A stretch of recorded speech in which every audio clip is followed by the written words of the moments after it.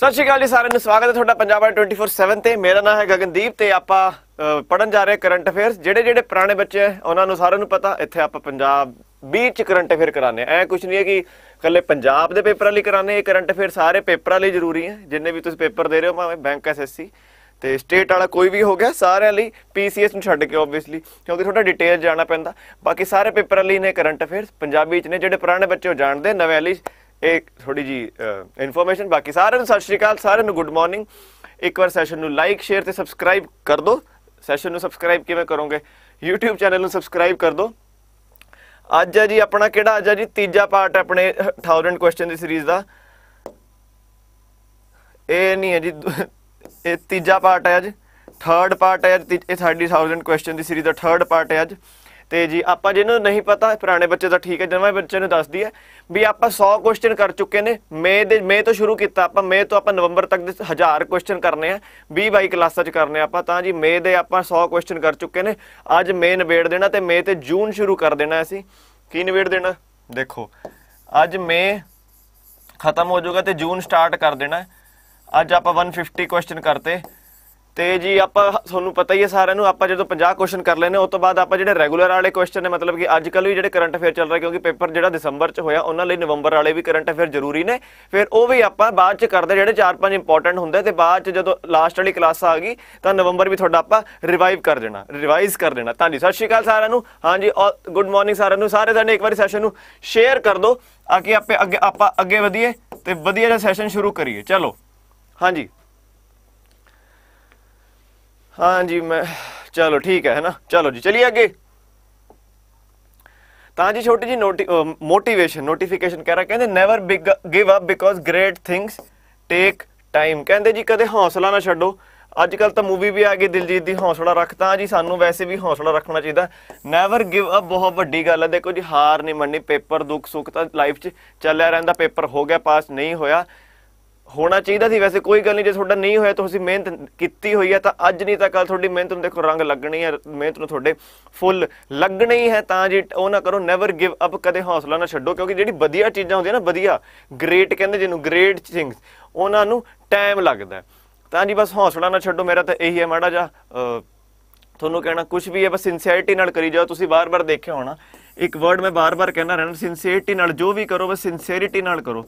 ਬਾਕੀ ਗੱਲਾਂ ਬਾਅਦ ਦੀਆਂ ਹੁੰਦੀਆਂ ਰਹਿਣੀਆਂ, ਜੋ ਵੀ ਜੇ ਤੁਸੀਂ ਸਿੰਸੀਅਰ ਹੋ ਆਪਣੇ ਕੰਮ ਵੱਲ, ਆਪਣੇ ਜੋ ਵੀ ਤੁਹਾਡਾ ਏਮ ਹੈ, ਉਹਦੇ ਵੱਲ ਤੁਸੀਂ ਸਿੰਸੀਅਰ ਹੋ, ਤੁਸੀਂ ਕੁਝ ਵੀ ਕਰ ਲਓਗੇ, ਕੋਈ ਤੁਹਾਨੂੰ ਐਡਾ ਚੱਕਰ ਪੈਣਾ ਨਹੀਂ। ਸਿੰਸੀਅਰਟੀ ਬਹੁਤ ਜ਼ਰੂਰੀ ਹੈ। ਪੀਡੀਐਫ ਪੰਜਾਬ 'ਚ ਨਹੀਂ ਮਿਲ ਸਕਦੀ ਹਾਂਜੀ, ਪੰਜਾਬ 'ਚ ਕਿਵੇਂ ਗੁਰੀ? ਪੰਜਾਬੀ 'ਚ, ਕਿਹਨਾ ਕਹਿੰਦਾ ਹੋਣਾ?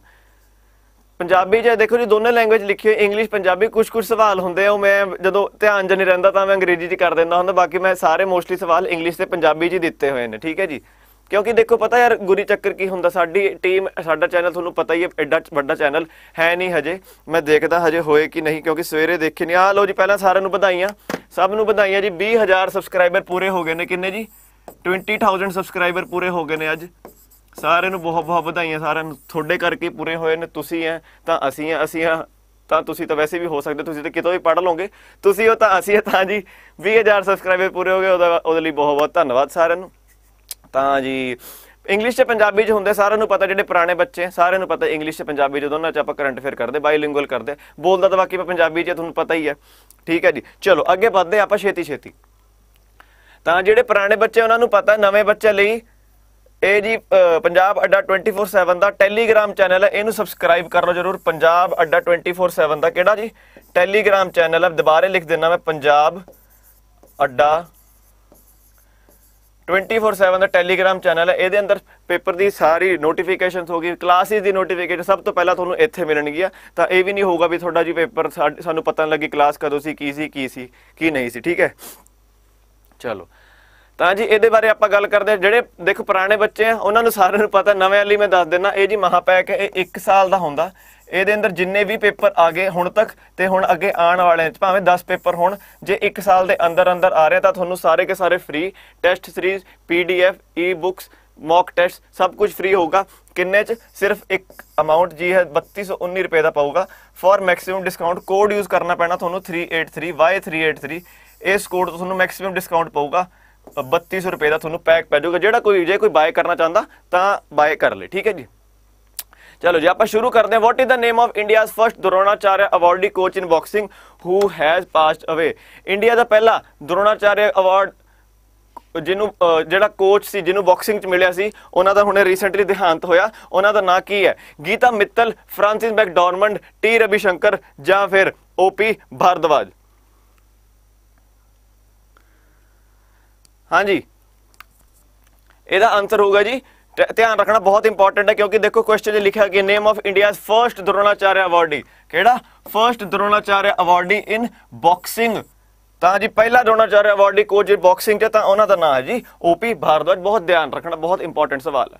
ਅਗਲੇ ਸਵਾਲ ਵੱਲ ਚਲਿਏ ਕਹਿੰਦੇ ਮੋਹਾਲੀ ਇੰਟਰਨੈਸ਼ਨਲ ਹਾਕੀ ਸਟੇਡੀਅਮ ਦਾ ਨਾਮ ਬਦਲ ਕੇ 올림픽 Balbir Singh senior international stadium ਕਰਤਾ ਕਿਹਨਾਂ ਦੇ ਆਨਰ ਵਿੱਚ ਬਲਬੀਰ ਸਿੰਘ ਸੀਨੀਅਰ ਦੇ ਆਨਰ ਵਿੱਚ ਇਹ ਦੱਸੋ ਮਾੜਾ ਜਿਹਾ ਕਿਹੜੀ ਸਟੇਟ 'ਚ ਹੋਊਗਾ ਇਹ ਪੰਜਾਬ 'ਚ ਹੋਊਗਾ ਉੱਤਰ ਪ੍ਰਦੇਸ਼ 'ਚ ਹੋਊਗਾ ਤਮਿਲਨਾਡੂ 'ਚ ਹੋਊਗਾ ਜਾਂ ਫਿਰ ਵੈਸਟ ਬੰਗਾਲ 'ਚ ਹੋਊਗਾ ਇਹ ਦੱਸੋ ਮਾੜਾ ਜਿਹਾ ਦਾ ਆਨਸਰ ਦੱਸੋ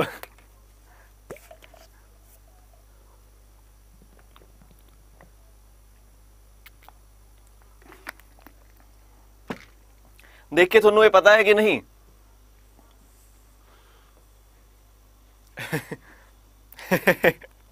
ਕਿ ਸਰ ਕਿਹੋ ਜਿਹਾ ਸਵਾਲ ਲਿਆ ਹਾਂਜੀ। ਬਹੁਤ ਇੰਪੋਰਟੈਂਟ ਸਵਾਲ ਹੈ, ਧਿਆਨ ਰੱਖਣਾ ਹੈ ਕਿ ਇਹਦਾ ਨਾਂ ਜੀ 올림픽ਨ Balbir Singh senior international hockey stadium ਕਰਤਾ ਹੁਣ ਨਾ। ਅੱਗੇ ਚਲਿਏ, ਕੌਣ ਅਪਾਇੰਟ ਕੀਤਾ ਗਿਆ ਸੀਬੀਆਈ ਦਾ ਨਵਾਂ ਡਾਇਰੈਕਟਰ 2 ਸਾਲਾਂ ਲਈ? ਸੀਬੀਆਈ ਦਾ ਨਵਾਂ ਡਾਇਰੈਕਟਰ 2 ਸਾਲਾਂ ਲਈ ਕਿਹਨੂੰ ਅਪਾਇੰਟ ਕੀਤਾ ਗਿਆ? M A Ganapathy S S Deswal, Rakesh Asthana ਜਾਂ ਫਿਰ ਸੁਬੋਧ ਕੁਮਾਰ ਜੈਸਵਾਲ? ਇਹ ਤਾਂ ਤੁਹਾਨੂੰ ਤਿੰਨ ਨਾ ਪਤਾ ਹੋਣੇ ਚਾਹੀਦੇ ਦੇਖੋ, ਐ ਨਾ ਕਰਿਓ ਕਿਉਂਕਿ ਸਾਰਿਆਂ ਨੂੰ ਕਰਾਏ ਹੋਏ ਨੇ। ਜਿਹੜੇ ਪੁਰਾਣੇ ਬੱਚੇ ਨੇ ਉਹਨਾਂ ਨੂੰ ਪਤਾ ਹੋਣਾ, ਨਵਾਂ ਨੂੰ ਦੱਸ ਦਈਏ। ਆਪਾਂ ਬਾਰ-ਬਾਰ ਬਾਰ-ਬਾਰ ਇਹੋ ਜਿਹੇ ਨਾ ਦੁਬਾਰੇ ਆਪਾਂ ਆਪਸ਼ਨ ਚ ਲਿਆਉਂਦੇ ਹੁੰਦੇ ਤੁਹਾਡੀ ਰਿਵੀਜ਼ਨ ਲਈ। ਤਾਂ ਇਹਦਾ ਆਨਸਰ ਹੋ ਜਾਏਗਾ ਜੀ, ਸੁਬੋਧ ਕੁਮਾਰ ਜੈਸਵਾਲ ਧਿਆਨ ਰੱਖਣਾ ਹੈ 2 ਸਾਲਾਂ ਲਈ ਕਿਹਦੇ ਬਣੇ ਨੇ ਹੈਡ ਇਹ? ਸੀਬੀਆਈ ਦੇ।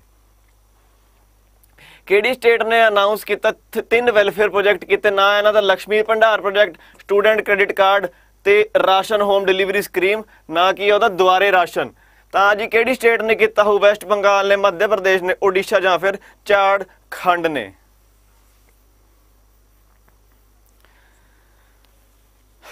ਤਾਂ ਜੀ ਇਹਦਾ ਆਨਸਰ ਹੋ ਜਾਏਗਾ ਜੀ ਵੈਸਟ ਬੰਗਾਲ ਨੇ ਕੀਤਾ, ਬਾਰ-ਬਾਰ ਧਿਆਨ ਰੱਖਣਾ ਨਾ ਹੋਊਗਾ ਦੁਆਰੇ ਰਾਸ਼ਨ ਹੈ ਨਾ ਲక్ష్ਮੀ ਭੰਡਾਰ ਪ੍ਰੋਜੈਕਟ ਹੈ ਤੇ ਤੀਜਾ ਸਟੂਡੈਂਟ ਕ੍ਰੈਡਿਟ ਕਾਰਡ ਹੈ। ਅੱਗੇ ਚਲਿਏ ਸਪੋਰਟਸ ਮਿਨਿਸਟਰੀ ਨੇ ਡੈਡੀਕੇਟ ਕੀਤੇ 143 ਧਿਆਨ ਰੱਖੋ ਕਿੰਨੇ 143 ਖੇਲੋ ਇੰਡੀਆ ਸੈਂਟਰ ਕਿੰਨੀ ਸਟੇਟਾਂ 'ਚ? 7 ਸਟੇਟਾਂ ਵਿੱਚ। ਤਾਂ ਟੋਟਲ ਬਜਟ ਦੱਸਣਾ ਤੁਸੀਂ ਕਿੰਨਾ ਕਿੰਨਾ ਹੈ। ਸਟੇਟਸ ਕਿਹੜੀਆਂ ਨੇ? ਇੱਕ ਵਾਰ ਧਿਆਨ 'ਚ ਰੱਖ ਲਿਓ, ਯਾਦ ਕਰਨ ਦੀ ਲੋੜ ਨਹੀਂ। ਇੰਨਾ ਕਿਉਂਕਿ ਪੁੱਛਣਗੇ ਨਹੀਂ। ਤਾਂ ਵੈਸੇ ਦਖ- ਰੱਖੋ ਤਾਂ 143 ਖੇਲੋ ਇੰਡੀਆ ਸੈਂਟਰ 7 ਸਟੇਟਾਂ ਵਿੱਚ। ਤਾਂ ਇਹਨਾਂ ਬਜਟ ਕਿੰਨਾ ਹੋਊਗਾ? 14 30 41 668 ਆ ਮਤਲਬ ਪੜ੍ਹ ਲਓ ਤੁਸੀਂ।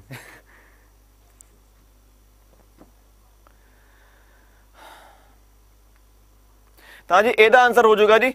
ਪਹਿਲਾ, ਯਾਨੀ ਕਿ 14 ਕਰੋੜ 30 ਲੱਖ ਰੁਪਏ ਦਾ ਕਿੰਨੇ, ਕੀ ਹੋਇਆ? ਜੀ? 143 ਕੀ ਖੇਲੋ ਇੰਡੀਆ ਸੈਂਟਰ ਬਣਿਆ। ਦੇਖੋ 143 ਸੈਂਟਰ ਨੇ ਤੇ 14 ਕਰੋੜ 30 ਲੱਖ ਇਹ ਇਹਨਾਂ ਇਹਨਾਂ ਨੇ ਅਮਾਉਂਟ ਅਲਾਟ ਕੀਤਾ। ਦੇਖੋ, ਤੁਸੀਂ ਯਾਦ ਕਰ ਸਕਦੇ ਹੋ 143 143 ਠੀਕ ਹੈ? ਚਲੋ, ਅੱਗੇ ਚਲਿਏ। National payment corporation of India ਜਿਨ੍ਹਾਂ ਨੇ ਰੁਪਏ ਚਲਾਇਆ ਹੋਇਆ, ਰੁਪਏ ਕਾਰਡ ਇਹਨਾਂ ਦਾ ਹੈ, ਠੀਕ ਹੈ ਜੀ ਯੂਪੀਆਈ ਇਹਨਾਂ ਦੀ ਹੈ, ਠੀਕ ਹੈ ਆਈਐਮਪੀਐਸ ਇਹਨਾਂ ਦਾ ਹੈ। ਇਹਨਾਂ ਨੇ ਕੀਤਾ ਪਾਰਟਨਰ ਇੱਕ ਗਲੋਬਲ ਪੇਮੈਂਟ ਸੋਲੂਸ਼ਨ ਕੰਪਨੀ ਨਾਲ, ਜਿਹਦਾ ਨਾਮ ਹੈ ਪੇਕੋਰ ਫॉर ਰੁਪਏ ਪੀਓਐਸ ਮਤਲਬ ਕਿ ਪੁਆਇੰਟ ਆਫ ਸੇਲਸ ਤਾਂ ਜੀ ਟੂ ਪ੍ਰੋਮੋਟ ਕੰਟੈਕਟਲੈਸ ਪੇਮੈਂਟ ਤਾਂ ਜੀ ਪੇਕੋਰ ਦੱਸੋ ਕਿਹੜੀ ਕੰਪਨੀ ਕਿਹੜੀ ਕੰਟਰੀ ਦੀ ਕੰਪਨੀ ਹੈ? ਦੇਖੋ ਦੋ ਤਿੰਨ ਸਵਾਲ ਬਣ ਗਏ। ਪਹਿਲਾ ਤਾਂ ਐਨਪੀਸੀਆਈ ਨੇ ਕਿਹਦੇ ਨਾਲ ਕੀਤਾ ਟਾਈ ਅਪ ਪੇਕੋਰ ਨਾਲ ਨਾਲ ਕੀਤਾ ਕਦ ਲਈ ਕੀਤਾ? ਰੁਪਏ ਪੀਓਐਸ ਲਈ ਕੀਤਾ। ਤਾਂ ਹੁਣ ਦੱਸੋ ਵੀ ਪੇਕੋਰ ਕੰਪਨੀ ਕਿੱਥੋਂ ਦੀ ਹੈ? ਫਰਾਂਸ ਜਾਪਾਨ ਟਰਕੀ ਜਾਂ ਅਮਰੀਕਾ ਆਬਵੀਅਸਲੀ ਕਾਫੀ ਅਜੀਬ ਜਿਹਾ ਸਵਾਲ ਹੈ ਤਾਂ ਬਣਿਆ ਹੀ ਤਾਂ ਹੀ ਹੈ, ਕਿਉਂਕਿ ਤਾਂ ਕਰਕੇ ਤੁਹਾਡੇ ਇਹਦੇ ਵਿੱਚ ਦੋ ਸਵਾਲ ਹੋ ਜਾਣ, ਤੁਹਾਡੇ ਐਨਪੀਸੀਆਈ ਨੇ ਪੇਕੋਰ ਨਾਲ ਕੀਤਾ ਕਾਦੇ ਲਈ ਕੀਤਾ? ਰੁਪਏ ਸੌਫਟ ਪੀਓਐਸ ਨਾਲ ਕੀਤਾ। ਤੇ ਪੇਕੋਰ ਕਿੱਥੋਂ ਦੀ ਕੰਪਨੀ ਹੈ? ਇਹ ਹੈ ਜੀ ਟਰਕੀ ਦੀ ਕੰਪਨੀ ਤਾਂ ਧਿਆਨ ਰੱਖਣਾ ਇਹ। ਅੱਗੇ ਚਲਿਏ ਵਰਲਡ ਏਡਸ ਵੈਕਸੀਨ ਡੇ ਕਦੋਂ ਆਬਜ਼ਰਵ ਕੀਤਾ ਜਾਂਦਾ? 21 ਮਈ 20 ਮਈ 18 ਮਈ ਜਾਂ ਫਿਰ 22 ਮਈ? ਇਹੋ ਜਿਹੇ ਦੇਖੋ ਇੰਪੋਰਟੈਂਟ ਡੇਜ਼ ਆਪਾਂ ਕਰਾਂਗੇ। ਤਾਂ ਦੱਸੋ ਧਿਆਨ ਰੱਖੋ ਜਰਾ ਕਿਹੜਾ ਕਦੋਂ ਹੁੰਦਾ ਹੈ। ਵਰਲਡ ਏਡਸ ਵੈਕਸੀਨ ਡੇ ਕਦੋਂ ਮਨਾਇਆ ਜਾਂਦਾ? ਮਨਾਇਆ ਕਿ ਆਬਜ਼ਰਵ ਕੀਤਾ ਜਾਂਦਾ? ਇਹਦਾ ਆਨਸਰ ਹੋ ਜਾਊਗਾ ਜੀ 18 ਮਈ ਨੂੰ ਆਬਜ਼ਰਵ ਕੀਤਾ ਜਾਂਦਾ ਤੇ ਇੱਕ ਹੁੰਦਾ ਸਿਰਫ ਵਰਲਡ ਏਡਸ ਡੇ ਇਹ ਹਰ ਸਾਲ 1 ਦਸੰਬਰ ਨੂੰ ਮਨਾਇਆ ਜਾਂਦਾ, ਇਹ ਧਿਆਨ ਰੱਖਣਾ ਹੈ। ਇਹ ਵਰਲਡ ਏਡਸ ਵੈਕਸੀਨ ਡੇ ਹੈ ਤੇ ਕੱਲਾ ਵਰਲਡ ਏਡਸ ਡੇ ਜਿਹੜਾ ਹੈ, ਉਹ ਕੱਲਾ 1 ਦਸੰਬਰ ਨੂੰ ਮਨਾਇਆ ਜਾਂਦਾ, ਇਹ ਧਿਆਨ ਰੱਖਣਾ ਬਹੁਤ ਇੰਪੋਰਟੈਂਟ ਸਵਾਲ ਹੈ ਇਹ। ਤੇ ਇੱਕ ਗੁਜ਼ਾਰਿਸ਼ ਹੈ ਤੁਹਾਡੀ ਸਾਰਿਆਂ ਨੂੰ, ਮੈਂ ਕਿਹਾ ਹੀ ਨਹੀਂ, ਅੱਜ ਸ਼ਾਇਦ ਕਿਹਾ, ਪਤਾ ਨਹੀਂ ਭੁੱਲ ਗਿਆ। ਇੱਕ ਵਾਰ ਸੈਸ਼ਨ ਨੂੰ ਸ਼ੇਅਰ ਕਰ ਦਿਓ ਤੇ ਲਾਈਕ ਤਾਂ ਤੁਸੀਂ ਕਰ ਦਿਓ, ਪੱਕਾ ਹੀ ਕਰ ਦਿਓ, ਠੀਕ ਹੈ? ਸ਼ੇਅਰ ਤੇ ਲਾਈਕ ਕਰ ਦਿਓ ਸੈਸ਼ਨ ਨੂੰ ਹੁੰਦਾ ਕੀ ਯਾਰ? ਸ਼ੇਅਰ ਤੁਸੀਂ ਕਰ ਦਿਓ, ਹੋਰਾਂ ਤੱਕ ਵੀਡੀਓ ਪਹੁੰਚਦੀ ਆ। ਸਾਰਿਆਂ ਦਾ ਤੁਹਾਨੂੰ ਪਤਾ ਹੈ, ਆਪਾਂ ਟੌਪ 1000 ਸਵਾਲ ਜਿਹੜੇ ਕਰਾ ਰਹੇ ਆ। ਕੱਲੇ ਪੀ ਟ੍ਰਿਪਲ ਐਸ ਵੀ ਲਈ ਨਹੀਂ, ਹਰ ਪੇਪਰ ਲਈ ਇਹ ਇੰਪੋਰਟੈਂਟ ਤਾਂ ਜੀ ਸੈਸ਼ਨ ਨੂੰ ਸ਼ੇਅਰ ਤੇ ਲਾਈਕ ਤਾਂ ਕਰ ਦਿਆ ਕਰੋ। ਚਲੋ, ਅੱਗੇ ਚਲਿਏ। Combined market capitalisation of BSC ਦੀ ਜਿਹੜੀ ਫਰਮਸ ਨੇ ਉਹ 3 ਟ੍ਰਿਲੀਅਨ ਡਾਲਰ ਦਾ ਮਾਰਕ ਕ੍ਰਾਸ ਕਰਦੀਆਂ। ਦੱਸੋ ਮਾੜਾ ਜਿਹਾ BSC ਕਿਹੜੇ ਸਟਾ- ਸਾਲ ਚ ਫਾਊਂਡ ਕੀਤਾ ਗਿਆ ਸੀ? ਤੇ BSC ਦੀ ਮੈਨੂੰ ਫੁੱਲ ਫਾਰਮ ਵੀ ਦੱਸੋ ਇੱਕ ਵਾਰ ਕੀ ਹੈ BSC ਦੀ full form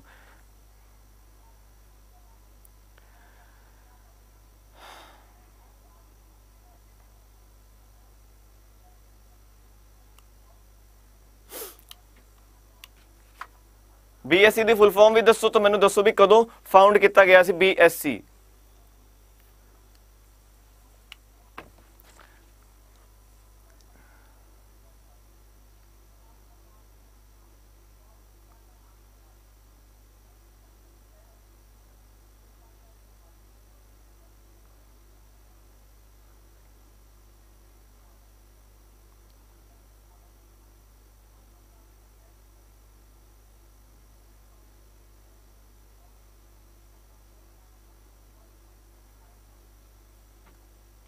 Bombay stock exchange ਬਿਲਕੁਲ ਬਿਲਕੁਲ। ਇਹ ਏਸ਼ੀਆ ਦਾ ਸਭ ਤੋਂ ਪੁਰਾਣਾ ਇਹ ਏਸ਼ੀਆਜ਼ 올ਡੈਸਟ ਇਹ ਧਿਆਨ ਰੱਖਣਾ ਤੁਸੀਂ Asia's oldest stock exchange exchange ਹੈ ਜੀ ਬੰਬੇ ਸਟਾਕ ਐਕਸਚੇਂਜ ਤੇ ਆਬਵੀਅਸਲੀ ਇੰਡੀਆ ਦਾ ਤਾਂ ਪਹਿਲੇ ਹੀ ਸੀ। ਠੀਕ ਹੈ ਵਾ 1875 ਗੱਲਾਂ ਧਿਆਨ ਰੱਖਣੀਆਂ, ਤਾਂ ਜੀ ਪਹਿਲੀ ਵਾਰੀ 3 ਟ੍ਰਿਲੀਅਨ ਡਾਲਰ ਦਾ ਮਾਰਕ ਕ੍ਰਾਸ ਕਰ ਲਿਆ ਇੱਥੇ, ਜਿਹੜੀ ਫਰਮਸ ਲਿਸਟਡ ਨੇ। ਅੱਗੇ ਚੱਲੀਏ ਯੂਨੀਅਨ ਕੈਬਨਿਟ ਨੇ ਅਪਰੂਵ ਕੀਤੀ ਓਪਨਿੰਗ ਆਫ ਨਵਾਂ ਕੌਂਸੂਲੇਟ ਜਨਰਲ ਕਿੱਥੇ? ਅੱਡੂ ਸਿਟੀ ਵਿੱਚ। ਠੀਕ ਹੈ ਜੀ? ਯੂਨੀਅਨ ਕੈਬਨਿਟ ਨੇ ਕੌਂਸੂਲੇਟ ਜਨਰਲ ਆਫ ਇੰਡੀਆ ਖੋਲਣ ਦਾ ਕਿਹਾ ਵੀ ਕਿੱਥੇ? ਅੱਡੂ ਸਿਟੀ, ਤਾਂ ਦੱਸੋ ਅੱਡੂ ਸਿਟੀ ਕਿੱਥੇ ਹੋਗੀ ਸ਼੍ਰੀਲੰਕਾ 'ਚ, ਮਿਆਂਮਾਰ 'ਚ, ਬੰਗਲਾਦੇਸ਼ ਜਾਂ ਫਿਰ ਮਾਲਦੀਵਸ ਵਿੱਚ? ਇਹਦਾ ਆਨਸਰ ਹੋ ਜਾਊਗਾ ਜੀ ਮਾਲਦੀਵਸ ਵਿੱਚ ਹੈ ਕੀ ਹੈ? ਅੱਡੂ ਸਿਟੀ। ਧਿਆਨ ਰੱਖਣਾ ਬਹੁਤ ਯੂਨੀਕ ਜਿਹਾ ਨਾਂ ਹੈ, ਤੁਹਾਨੂੰ ਯਾਦ ਹੋ ਹੀ ਜਾਣਾ ਚਾਹੀਦਾ। Addu Maldive city sorry Addu city Maldives ਵਿੱਚ ਹੈ। ਅੱਗੇ ਚੱਲੀਏ, ਕਿਹੜੇ ਬੈਂਕ ਨੇ? ਹੂ ਵਿਚ ਬੈਂਕ ਹੈ launched a facility for linking UPI with pockets ਤੁਹਾਨੂੰ ਪਤਾ ਹੋਣਾ ਚਾਹੀਦਾ, ਇੱਕ ਬਹੁਤ ਇੰਪੋਰਟੈਂਟ ਸਵਾਲ ਹੈ। UPI ਨੂੰ ਇੱਕ ਵਾਲਟ ਲਾਂਚ ਕੀਤਾ ਕਿਸੇ ਬੈਂਕ ਨੇ, ਜਿਹਦਾ ਨਾਮ ਹੈ ਪਾਕਟਸ ਤਾਂ ਕਿਹੜੇ ਬੈਂਕ ਦਾ? ਯੈਸ ICICI HDFC ਜਾਂ ਫਿਰ ਐਕਸਿਸ ਬੈਂਕ ਦਾ।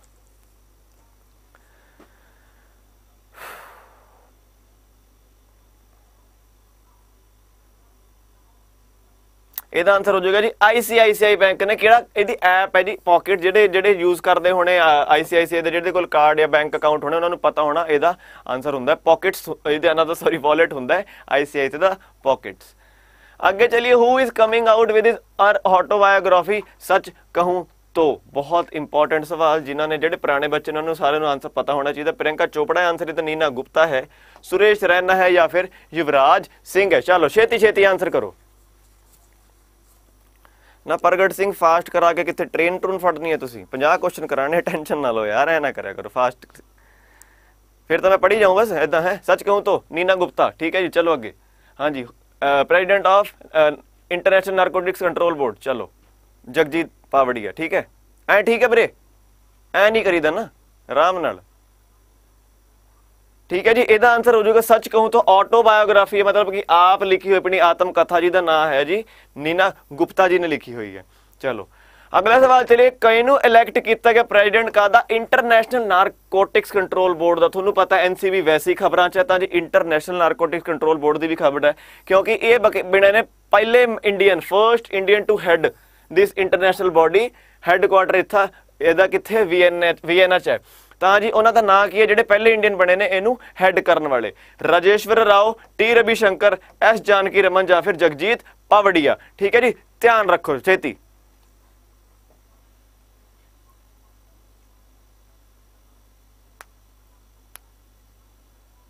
ਤਾਂ ਜੀ ਇਹਦਾ ਅੰਤਰ ਹੋ ਜਾਊਗਾ ਜਗਜੀਤ ਪਾਵੜੀਆ ਜੀ ਨੂੰ ਕੀ ਬਣਾਇਆ ਗਿਆ? ਇੰਟਰਨੈਸ਼ਨਲ ਨਾਰਕੋਟਿਕਸ ਕੰਟਰੋਲ ਬੋਰਡ ਦਾ। ਇਹ ਪਹਿਲੇ ਇੰਡੀਅਨ ਬਣੇ ਨੇ, ਪਹਿਲੇ ਭਾਰਤੀ ਬਣੇ ਨੇ, ਇਹਨੂੰ ਹੈੱਡ ਕਰਨ ਲਈ ਹੈੱਡ ਕਰ ਰਹੇ ਨੇ। ਤਾਂ ਜੀ who is the chief of R R A R and A W raw ਜਿਹਨੂੰ ਕਹਿੰਦੇ ਨੇ ਰਿਸਰਚ ਐਂਡ ਐਨਾਲਿਸਿਸ ਵਿੰਗ ਦੇ ਚੀਫ ਕਿਹਨੂੰ ਬਣਾਇਆ ਗਿਆ ਹੈ? ਰਾਕੇਸ਼ ਅਸਥਾਨਾ, ਸੁ- ਰਾਜੀਵ ਚੌਧਰੀ, ਸੁਬੋਧ ਕੁਮਾਰ ਜੈਸਵਾਲ, ਸਮੰਤ ਕੁਮਾਰ ਗੋਇਲ। ਤੁੱਕਾ ਮਾਰ ਕੇ ਦੱਸੋ, ਬਹੁਤ ਵਾਰ ਕਰਾਇਆ ਹੋਇਆ, ਕੀ ਇਹ? ਤਾਂ ਜੀ ਇਹਦਾ ਆਨਸਰ ਹੋ ਜਾਊਗਾ ਜੀ ਸਮੰਤ ਕੁਮਾਰ ਗੋਇਲ। ਸੁਬੋਧ ਕੁਮਾਰ ਜੈਸਵਾਲ ਹੁਣੇ ਹੁਣੇ ਕਰਾਇਆ ਮੈਂ। ਇਹ ਕਿਹਦੇ ਨੇ? ਦੱਸੋ ਮਾੜਾ ਜਿਹਾ ਕਿ ਭੁੱਲ ਗਏ। ਦੱਸੋ ਮਾੜਾ ਜਿਹਾ ਕਿਹਦੇ ਬਣੇ ਨੇ ਇਹ? Who is the director general of intelligence bureau ਦੇਖੋ ਜੀ ਕੁਝ ਸਾਡੀ ਏਜੰਸੀਆਂ ਨੇ ਨਾ, ਜਿਹੜੀ ਸੀਬੀਆਈ ਹੋਗੀ ਆਈਬੀ ਹੋਗੀ ਰॉ ਹੋਗੀ ਡੀਆਰਡੀਓ ਹੋਗੀ ਇਸਰੋ ਹੋਗੀ ਤੇ ਦਿੱਲੀ ਦੇ ਕਮਿਸ਼ਨਰ ਹੋ ਗਏ। ਇਹ ਜ- ਥੋੜੇ ਇੰਪੋਰਟੈਂਟ ਨੇ। ਦਿੱਲੀ ਕਮਿਸ਼ਨਰ ਹੋ ਗਏ CRPF CISF ITBP BSF NSG SSB RBI ਸਾਡੇ chief election commissioner chief vigilance commissioner chief information commissioner ਤੇ ਸਾਡੇ controller and auditor general CGA ਸਾਡੇ। ਹਮ, ਹਮ। ਇਹ ਜਿਹੜੇ ਨੇ ਨਾ ਇਹ ਸਾਰੇ ਬਹੁਤ ਇੰਪੋਰਟੈਂਟ ਨੇ। ਕਿੰਨੇ ਹੋ ਗਏ? ਇਹ ਤਾਂ ਘੱਟੋ ਘੱਟ ਯਾਦ ਕਰਕੇ ਜਾ ਕਿਉਂਕਿ ਸਟੈਟਿਕ ਜੀ ਦਾ ਸਵਾਲ ਵੀ ਬਣ ਸਕਦਾ ਕਿ ਅੱਜ ਕੱਲ ਕਰੰਟ 'ਚ ਵੀ ਕਿਉਂਕਿ ਤਾਂ ਹੀ ਕੁਐਸਚਨ ਬਣਿਆ ਅਹ, ਮਈ 'ਚ ਹੀ ਇਹ ਪੁਆਇੰਟ ਹੋਏ ਸੀ ਤਾਂ ਇਹ ਬਹੁਤ ਇੰਪੋਰਟੈਂਟ ਸਵਾਲ ਹੋ ਜਾਂਦਾ ਤਾਂ ਤੁਹਾਨੂੰ ਧਿਆਨ ਰੱਖਣਾ ਪੈਣਾ। ਇਹ ਤਾਂ ਤੁਸੀਂ ਧਿਆਨ ਰੱਖਣਾ ਮੈਂ ਇਹਦੇ ਉੱਤੇ ਪ੍ਰੋਪਰ ਸੈਸ਼ਨ ਬਣਾ ਦੂੰਗਾ। ਸਾਰੇ ਜਿੰਨੇ ਵੀ ਸਾਡੇ ਇੰਪੋਰਟੈਂਟ ਹੈਡਸ ਦੇ ਚੀਫ ਨੇ ਜਿਹੜੀ ਇੰਪੋਰਟੈਂਟ ਆਰਗੇਨਾਈਜੇਸ਼ਨਸ ਦੇ ਉਹਦਾ ਮੈਂ ਇੱਕ ਅੱਡ ਤੋਂ ਮੈਂ ਕਲਾਸ ਬਣਾ ਕੇ ਅਪਲੋਡ ਕਰ ਦੂੰਗਾ। ਉਹ ਜਰੂਰ ਦੇਖਿਆ ਜੇ ਬਟ ਧਿਆਨ ਰੱਖਣਾ ਮੈਂ ਤੁਹਾਨੂੰ ਦੱਸਤਾ ਜੇ ਆਪ ਆਪਣੇ ਵੱਲੋਂ ਤੁਸੀਂ ਕੋਈ ਰਿਸਰਚ ਕਰਨਾ ਚਾਹੁੰਦੇ ਹੋ ਤਾਂ ਇਹ ਕੁਝ ਨਾ ਨੇ ਇਹ ਤੁਸੀਂ ਗੂਗਲ ਕਰਕੇ ਦੇਖ ਸਕਦੇ ਹੋ। ਚਲੋ, ਇਹਦਾ ਆਨਸਰ ਹੋ ਜਾਊਗਾ ਜੀ, ਅਰਵਿੰਦ ਕੁਮਾਰ ਕਿਹੜੇ ਬਣੇ ਨੇ? ਇਹ ਬਣੇ ਨੇ ਜੀ ਡਾਇਰੈਕਟਰ ਬਣੇ ਨੇ ਜੀ, ਇਹ ਇੰਟੈਲੀਜੈਂਸ ਬਿਊਰੋ ਦੇ। ਆ ਲਓ ਜੀ, ਪੰਜਾਬੀ 'ਚ ਸਵਾਲ ਆਣੇ ਸ਼ੁਰੂ ਹੋ ਗਏ। ਮੈਂ ਕਿਹਾ ਹੀ ਸੀ, ਜਦੋਂ ਮੈਂ ਥੋੜਾ ਜਿਹਾ ਆਕਿਊਪਾਈਡ ਦਾ ਹੋ ਜਾਣਾ ਮੇਰੇ ਕਈ ਵਾਰੀ ਧਿਆਨ ਜਾਣ ਰਹਿੰਦਾ, ਤਾਂ ਜੀ ਆਹ ਦੇਖੋ ਹੁਣ। ਵਰਲਡ ਹੰਗਰ ਡੇ ਗਲੋਬਲੀ ਕਿਹੜੀ ਦਿਨ ਅਬਜ਼ਰਵ ਕੀਤਾ ਜਾਂਦਾ? 28 ਮਈ 15 ਮਈ 12 ਮਈ ਜਾਂ ਫਿਰ 11 ਮਈ ਵਿਸ਼ਵ ਭੁੱਖ ਦਿਵਸ ਕਿਸ ਦਿਨ ਵਿਸ਼ਵ ਪੱਧਰ ਤੇ ਮਨਾਇਆ ਜਾਂਦਾ ਹੈ? 18 ਮਈ ਨੂੰ 15 ਮਈ ਨੂੰ 12 ਮਈ ਜਾਂ ਫਿਰ 11 ਮਈ?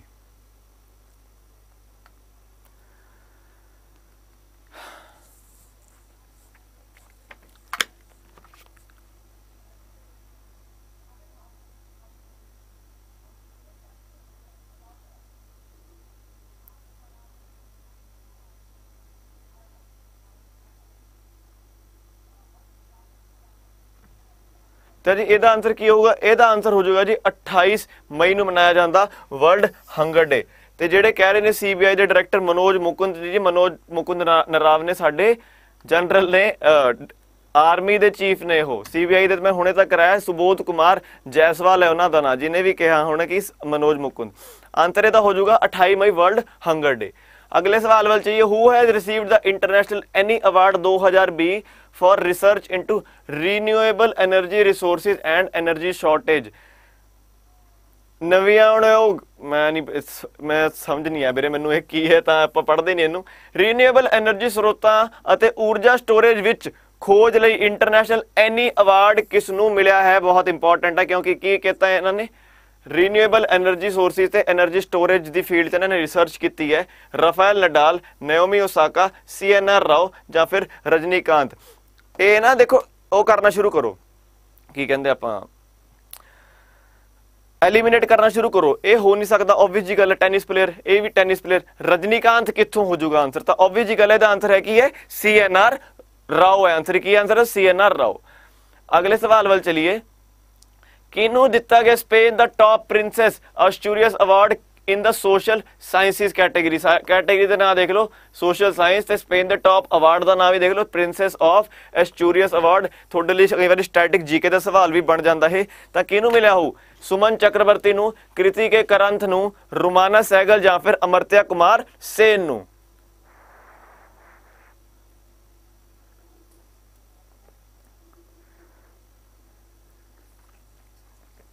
ਕੀ ਹੋ ਜਾਊਗਾ ਆਨਸਰ ਇਹਦਾ? ਇਹਦਾ ਆਨਸਰ ਹੋ ਜਾਊਗਾ ਅਮਰਤਿਆ ਕੁਮਾਰ ਸੇਨ ਨੂੰ ਦਿੱਤ- ਸੇਨ ਨੂੰ ਦਿੱਤਾ ਗਿਆ ਸਪੇਨ ਦਾ। ਆ ਦੇਖੋ, ਯਾਦ ਕਰਦੇ, ਦੇਖੋ ਇਹਨੇ ਪੜਦੇ ਪੜਦੇ ਚੇਤੇ ਆ ਜਾਂਦਾ ਸਪੇਨ ਦਾ ਅਵਾਰਡ ਕਿਹਨੂੰ ਦਿੱਤਾ ਗਿਆ? ਸੇਨ ਨੂੰ ਦਿੱਤਾ ਗਿਆ। ਸੇਨ ਨੂੰ ਕਿਹੜਾ ਅਵਾਰਡ ਦਿੱਤਾ ਗਿਆ ਜੀ? ਸਪੇਨ ਦਾ।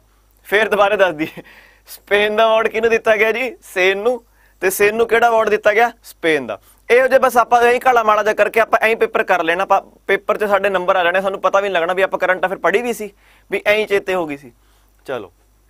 ਸਕੁਆਡਰਨ ਲੀਡਰ ਨਾਂ ਹੈ ਜੀ ਆਸ਼ਰਿਤਾ ਵੀ ਓਲੇਟੀ ਇਹ ਬਿਕ- ਬਣੀ ਨਹੀਂ ਪਹਿਲੀ ਫੀਮੇਲ ਫਲਾਈਟ ਟੈਸਟ ਇੰਜੀਨੀਅਰ ਬਹੁਤ ਇੰਪੋਰਟੈਂਟ ਸਵਾਲ। ਪਹਿਲੀ ਫੀਮੇਲ ਫਲਾਈਟ ਟੈਸਟ ਇੰਜੀਨੀਅਰ ਕਿੱਥੇ? ਆਬਵੀਅਸ ਜੀ ਗੱਲ ਹੈ ਫਲਾਈਟ ਟੈਸਟ ਹੈ ਤਾਂ 에ਅਰ ਫੋਰਸ 'ਚ ਹੋਣੀ। ਤਾਂ ਕਿਹੜੀ ਸਟੇਟ ਤੋਂ ਬਿਲੋਂਗ ਕਰਦੇ ਨੇ ਇਹ?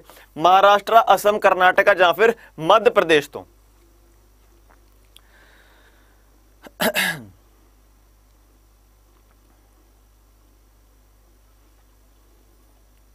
ਹਾਂਜੀ। ਕਿਹੜੀ ਸਟੇਟ ਤੋਂ ਬਿਲੋਂਗ ਕਰਦੀ ਨੇ? ਕਰਦੇ ਨੇ ਜੀ ਕਰਨਾਟਕਾ ਤੋਂ ਬਿਲੋਂਗ ਕਰਦੇ ਨੇ ਇਹ। ਅਗਲੇ ਸਵਾਲ ਵੱਲ ਚਲੀਏ। What is the name of freedom fighter ਜਿਹਨੂੰ ਜਾਣਿਆ ਜਾਂਦਾ ਜੀ? ਕੁਇਟ ਇੰਡੀਆ ਮੂਵਮੈਂਟ ਦੇਖੋ ਜੀ, ਇਹਨਾਂ ਨੇ ਕੁਇਟ ਇੰਡੀਆ ਮੂਵਮੈਂਟ ਕਦੋਂ ਹੋਈ ਸੀ? 1942 ਚ ਹੋਈ ਸੀ।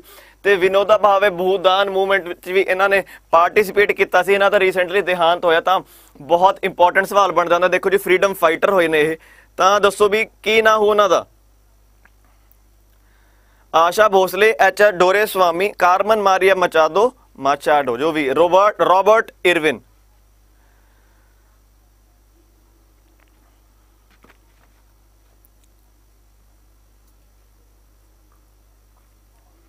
ਇਹਦਾ ਆਨਸਰ ਹੋ ਜਾਏਗਾ ਜੀ ਐਚ ਐਸ ਡੋਰੇ ਸਵਾਮੀ ਧਿਆਨ ਰੱਖਣਾ ਜੀ ਕੁਇਟ ਇੰਡੀਆ ਮੂਵਮੈਂਟ ਦੁਬਾਰੇ ਕਹਿ ਰਿਹਾ 1942 ਚ ਹੋਈ ਸੀ ਅਗਸਤ 1942 ਚ ਸਟਾਰਟ ਹੋਈ ਸੀ ਤੇ ਇਹਨਾਂ ਦੇ ਇਹ ਸ਼ੁਰੂ ਕੀਤੀ ਸੀ 1951 ਵਿੱਚ।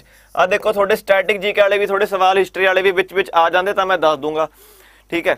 ਅੱਗੇ ਚੱਲੀਏ who will take charge as the CEO of Amazon? ਤੁਹਾਨੂੰ ਪਤਾ ਹੈ, Amazon ਦਾ ਜਿਹੜੇ ਫਾਊਂਡਰ ਤੇ ਸੀਈਓ ਸੀ, ਜਿਨ੍ਹਾਂ ਦਾ ਨਾਮ ਹੈ ਜੈਫ ਬੇਜ਼ੋਸ ਉਹਨਾਂ ਨੇ ਹੁਣ ਰਿਜ਼ਾਈਨ ਕਰਤਾ ਸੀ ਤੇ ਫਿਰ ਕਿਹਨਾਂ ਨੂੰ ਬਣਾਇਆ ਸੀ? ਸੋਨੂ ਸੂਦ, ਆਜ਼ਿਲ ਜ਼ੈਨੁਲ ਭਾਈ, ਤਰੁਣ ਬਜਾਜ ਜਾਂ ਫਿਰ ਐਂਡੀ ਜੈਸੀ ਕਿਹਨੂੰ ਬਣਾਇਆ ਜੀ ਸੀਈਓ ਸੋਨੂ ਸੂਦ, ਆਦਿਲ ਜ਼ੈਨਲ ਭਾਈ, ਤਰੁਣ ਬਜਾਜ ਜਾਂ ਫਿਰ ਐਂਡੀ ਜੈਸੀ ਨੂੰ? ਤਾਂ ਜੀ ਇਹਦਾ ਆਨਸਰ ਹੋ ਜਾਊਗਾ ਜੀ, ਐਂਡੀ ਜੈਸੀ ਨੂੰ ਬਣਾਇਆ ਗਿਆ, ਕੀ ਬਣਾਇਆ ਗਿਆ ਇਹਨਾਂ ਨੂੰ? ਸੀਈਓ ਬਣਾਇਆ ਗਿਆ। ਅਗਲੇ ਸਵਾਲ ਵੱਲ ਚਲਿਏ। ਕਹਿੰਦੇ ਜੀ, ਕਿਹੜੀ ਸਟੇਟ ਗਵਰਨਮੈਂਟ ਆਈ ਹੈ? Concept of guardian minister guardian ministers ਕਿਹੜਾ ਰਾਜ ਸਰਕਾਰ ਨੇ ਸਰਪ੍ਰਸਤ ਮੰਤਰੀ ਦਾ ਸੰਕਲਪ ਲਿਆ ਹੈ? ਕਿਹੜਾ ਨਵਾਂ ਕਨਸੈਪਟ ਹੈ ਗਾਰਡੀਅਨ ਮਿਨਿਸਟਰਸ ਦਾ? ਮੱਧ ਪ੍ਰਦੇਸ਼ ਅਸਮ ਝਾਰਖੰਡ ਜਾਂ ਫਿਰ ਛੱਤੀਸਗੜ੍ਹ?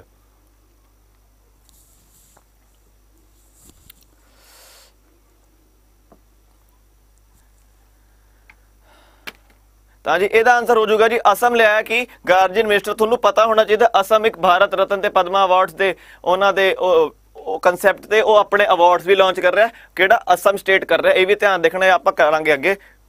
ਕੁਐਸਚਨ ਐਂਡੀ ਮਾਈ ਫਰੈਂਡ ਅੱਛਾ। ਅਗਲੇ ਸਵਾਲ ਵੱਲ ਚੀਏ who has announced mini TV video streaming service for its app users in India that will let users watch free videos ਕਿਸ ਨੇ ਭਾਰਤ ਵਿੱਚ ਆਪਣੇ ਐਪ ਉਪਭੋਗਤਾ ਲਈ ਮਿਨੀ ਟੀਵੀ ਵੀਡੀਓ ਸਟ੍ਰੀਮਿੰਗ ਸੇਵਾ ਦੀ ਘੋਸ਼ਣਾ ਕੀਤੀ ਹੈ, ਜੋ ਉਪਭੋਗਤਾਵਾਂ ਨੂੰ ਮੁਫਤ ਵੀਡੀਓ ਦੇਖਣ ਦੇਵੇਗੀ, ਐਪ ਦੇ ਅੰਦਰ? ਤੁਹਾਨੂੰ ਪਤਾ ਹੋਗਾ, ਬਹੁਤ ਇੰਪੋਰਟੈਂਟ ਹੈ ਜਿਹੜੇ ਐਪ ਯੂਜ਼ ਕਰਦੇ ਨੇ ਫਲਿੱਪਕਾਰਟ Amazon, Google ਜਾਂ Microsoft ਆਨਸਰ ਕੀ ਹੋਗਾ ਇਹਦਾ? ਇਹਦੇ ਲਈ ਤਾਂ ਤੁਹਾਨੂੰ ਪੜਨ ਦੀ ਲੋੜ ਵੀ ਨਹੀਂ। ਜੇ ਤੁਸੀਂ ਯੂਜ਼ ਕਰਦੇ ਹੋਣੇ, ਤੁਹਾਨੂੰ ਪਤਾ ਹੋਣਾ, ਤਾਂ ਆਨਸਰ ਇਹਦਾ ਹੈ। Amazon ਨੇ ਲਾਂਚ ਕੀਤੀ ਹੈ ਕਿ ਮਿਨੀ ਟੀਵੀ ਐਪ ਕੀਤੀ ਹੈ। ਤੁਸੀਂ ਜੇ Amazon ਦੀ ਐਪ ਖੋਲੋ ਉੱਤੇ ਅੱਜਕੱਲ ਛੋਟੇ ਛੋਟੇ ਉਹ ਬਣੇ ਹੁੰਦੇ ਆ ਕਿ ਮੋਬਾਈਲ ਲੈ ਲਓ, ਕੱਪੜੇ ਲੈਣੇ, ਕਿ ਇਲੈਕਟ੍ਰੋਨਿਕਸ ਲੈਣੇ, ਉੱਥੇ ਲਿਖਿਆ ਹੈ ਇੱਕ ਛੋਟਾ ਜਿਹਾ ਮਿਨੀ ਟੀਵੀ ਵੀ ਲਿਖਿਆ ਹੋਇਆ ਹੈ।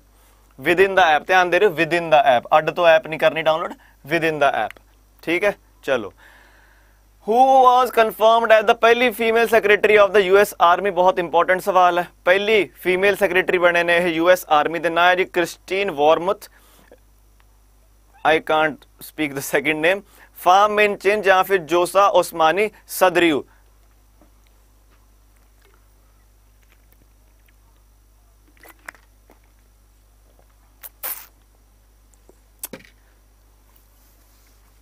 ਤਾਂ ਜੀ, ਇਹਦਾ ਆਨਸਰ ਹੋ ਜਾਊਗਾ। ਕ੍ਰਿਸਟੀਨ ਵਾਰਮੁਥ ਧਿਆਨ ਰੱਖਣਾ, ਪਹਿਲੀ female secretary of US army ਹੈ, ਤਾਂ ਇੰਪੋਰਟੈਂਟ ਹੈ, ਤੇ ਯੂਐਸ ਤਾਂ ਵੈਸੇ ਹੀ ਦੇਖੋ ਵਰਲਡ ਲਈ ਇੰਪੋਰਟੈਂਟ ਹੈ। ਜ਼ੁਕਾਮ ਯੂਐਸ ਨੂੰ ਹੁੰਦਾ ਸੌਰੀ ਸਰਦੀ ਯੂਐਸ ਨੂੰ ਲੱਗਦੀ ਹੈ, ਹਵਾ ਉੱਥੇ ਚੱਲਦੀ ਹੈ, ਬਰਫ਼ ਉੱਥੇ ਪੈਂਦੀ ਹੈ, ਜ਼ੁਕਾਮ ਸਾਰੀ ਦੁਨੀਆ ਨੂੰ ਹੋ ਜਾਂਦਾ। ਦੇਖੋ ਜੀ ਸੁਪਰ ਪਾਵਰ ਹੋਣ ਦਾ ਇਹ ਤਾਂ ਹੈ ਥੋੜਾ ਜਿਹਾ। ਇਨ- ਦੂਜੀ ਕੰਟਰੀ ਨੂੰ ਨੁਕਸਾਨ, ਕਿਉਂਕਿ ਥੋੜਾ ਥੋੜਾ ਬਹੁਤਾ ਵੀ ਉਹਨਾਂ ਨਾਲ ਜੋ ਹੋਊਗਾ, ਪੂਰੇ ਦੁਨੀਆ ਤੇ ਫ਼ਰਕ ਪੈਂਦਾ। ਉੱਥੇ ਰਿਸੈਸ਼ਨ ਆਣੀ ਹੈ ਤਾਂ ਪੂਰੀ ਦੁਨੀਆ 'ਚ ਰਿਸੈਸ਼ਨ ਆਊਗੀ ਆਊਗੀ।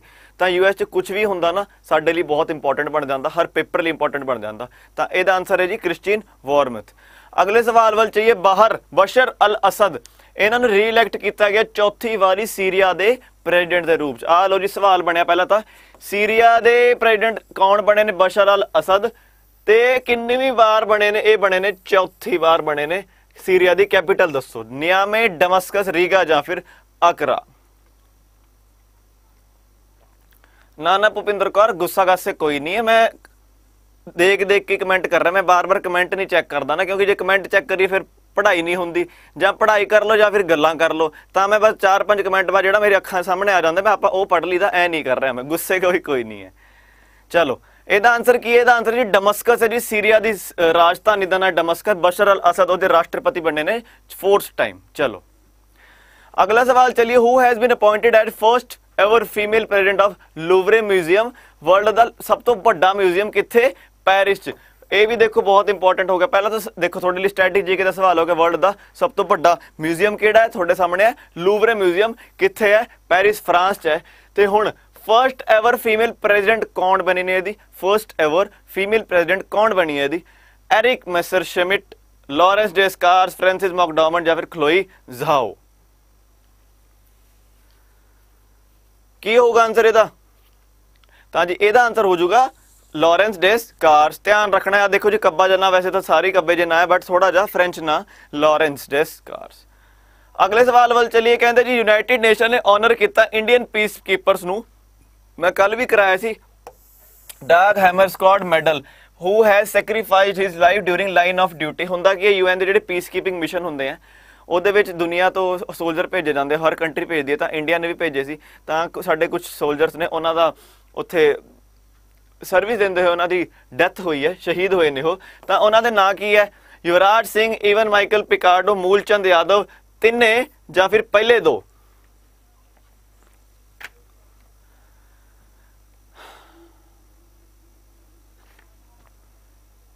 ਹਾਂਜੀ, ਇਹਦਾ ਆਨਸਰ ਕੀ ਹੋ ਜਾਊਗਾ? ਇਹਦਾ ਆਨਸਰ ਹੋ ਜਾਊਗੀ ਆਲ 1 2 ਐਂਡ 3 ਹੋ ਜਾਊਗਾ। ਇਹਦਾ ਆਨਸਰ ਧਿਆਨ ਰੱਖਣਾ ਬਹੁਤ ਇੰਪੋਰਟੈਂਟ ਸਵਾਲ ਹੈ। ਅਵਾਰਡ ਕਿਹੜਾ ਮਿਲਿਆ? ਇਹਨਾਂ ਨੂੰ ਮਿਲਿਆ ਜੀ ਡਾਗ ਹੈਮਰ ਸਕਾਟ ਮੈਡਲ, ਦਿੰਦਾ ਕੌਣ ਹੈ? ਯੂਐਨ ਦਿੰਦਾ, ਕਾਹਦੇ ਲਈ ਦਿੰਦਾ? ਇੰਡੀਅਨ ਪੀਸ ਕੀਪਰਸ ਦਿੱਤਾ, ਕਿਉਂਕਿ ਇਹ ਸ਼ਹੀਦ ਹੋਏ ਨੇ ਲਾਈਨ ਆਫ ਡਿਊਟੀ ਵਿੱਚ। ਅਗਲੇ ਸਵਾਲ ਵੱਲ ਚੱਲੀਏ। ਸਮਾਰਟ ਕਿਚਨ ਸਕੀਮ ਕਿਸ ਰਾਜ ਦੀ ਸਕੀਮ ਹੈ? ਦੇਖੋ ਜੀ ਸਮਾਰਟ ਸਮੂਟ ਜਿਹੜੇ ਹੁੰਦੇ ਨਾ ਮੋਸਟਲੀ ਨਾ, ਤੁਸੀਂ ਪੜਾ ਪਤਾ ਹੀ ਹੋਣਾ। ਲਿਟਰੇਸੀ ਰੇਟ ਸਭ ਤੋਂ ਵੱਧ ਹੈ। ਜੇ ਤੁਸੀਂ ਪੜ੍ਹੇ ਲਿਖੇ ਹੋ, ਤੁਸੀਂ ਸਮਾਰਟ ਤਾਂ ਹੋਗੇ ਹੀ। ਤੇ ਲਿਟਰੇਸੀ ਰੇਟ ਸਭ ਤੋਂ ਵੱਧ ਕਿਹਦਾ ਲਿਟਰੇਸੀ ਰੇਟ ਹੈ ਸਭ ਤੋਂ ਵੱਧ ਕੇਰਲਾ ਦਾ। ਤਾਂ ਜੀ ਸਮਾਰਟ ਸਮੂਟ ਵਾਲੇ ਕੰਮ ਵੀ ਕੇਰਲਾ 'ਚ ਹੀ ਹੁੰਦੇ। ਤਾਂ ਜੀ ਸਮਾਰਟ ਕਿਚਨ ਸਕੀਮ ਹੈ ਕੇਰਲਾ ਦੀ। ਠੀਕ ਹੈ ਜੀ, ਚਲੋ। ਅੱਗੇ ਚਲਿए who has authored the book 7 lessons from Everest expedition learnings from life and business Nitin Anant Gokhale Aditya Gupta, Maggie O'Farrell ਜਾਂ ਫਿਰ ਕਾਲਕੀ ਕੋਐਚਲਿਨ। ਤੁਹਾਨੂੰ ਪਤਾ ਹੋਣਾ ਚਾਹੀਦਾ ਕਾਲਕੀ ਕੋਐਚਲਿਨ ਦੀ ਕਿਤਾਬ ਦਾ ਨਾਮ ਤੁਹਾਨੂੰ ਪਤਾ ਹੋਣਾ ਚਾਹੀਦਾ ਕੀ ਸੀ? ਐਲੀਫੈਂਟ ਇਨ ਦਾ ਵੂਮ ਸੀ ਕਿਤਾਬ ਦਾ ਨਾਮ ਮੈਗੀ ਆਫ ਫਰਲ ਦੀ ਕਿਤਾਬ ਮੈਂ ਕੱਲ ਦੱਸੀ ਸੀ। ਦੱਸੋ ਮਾੜਾ ਜੇ ਕਿਸੇ ਨੂੰ ਚੇਤੇ ਹੋ ਜਾਏ, ਕੋਈ ਰਿਵੀਜ਼ਨ ਕਰਦਾ ਹੋਇਆ ਤਾਂ ਹੀ ਪਤਾ ਹੋਊਗੀ, ਵੈਸੇ ਤਾਂ ਹੋਣਾ ਨਹੀਂ। ਆਦਿੱਤਯ ਗੁਪਤਾ ਜਾਂ ਫਿਰ ਨਿਤਿਨ ਅਨੰਤ ਗੋਖਲੇ। ਇਹਦਾ ਆਨਸਰ ਹੋ ਜਾਊਗਾ ਜੀ ਆਦਿੱਤਯ ਗੁਪਤਾ ਨੇ ਲਿਖੀ ਕਿਹੜੀ ਕਿਤਾਬ? 7 lesson from Everest expedition learnings from life and business ਧਿਆਨ ਰੱਖੋ, ਬਹੁਤ ਇੰਪੋਰਟੈਂਟ ਸਵਾਲ।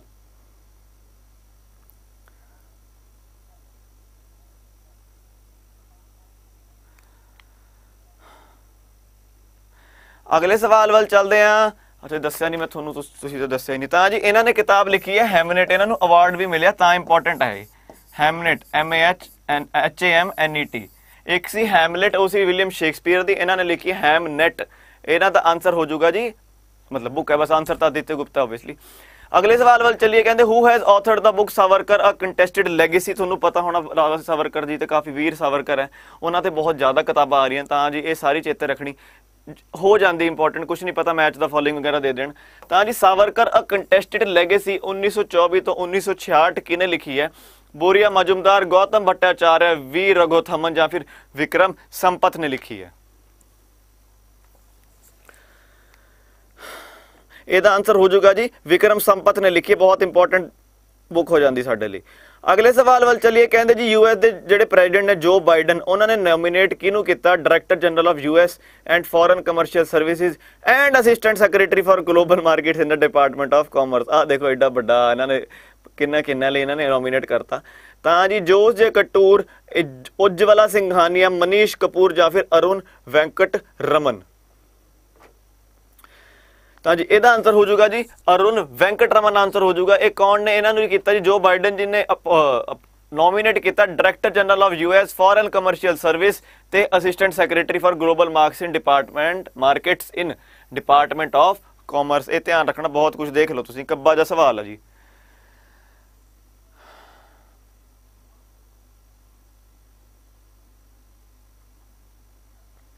What is the name of the constituent assembly member and freedom fighter who has passed away recently ਦੇਖੋ ਜੀ ਕਨਸਟੀਟਿਊਂਟ ਅਸੈਂਬਲੀ ਕਦੋਂ ਬਣਾਈ ਗਈ ਸੀ? 1946 ਚ ਬਣਾਈ ਗਈ ਸੀ। ਤਾਂ ਜੀ, ਉਹ ਇੱਕ ਕੋਈ ਕਨਸਟੀਟਿਊਂਟ ਅਸੈਂਬਲੀ ਦੇ ਮੈਂਬਰ ਸੀ ਤੇ ਫਰੀडम ਫਾਈਟਰ ਤਾਂ ਆਬਵੀਅਸਲੀ ਰਹੇ ਹੋਣੇ ਜੀ ਕਨਸਟੀਟਿਊਂਟ ਅਸੈਂਬਲੀ ਦੇ ਮੈਂਬਰ ਸੀ।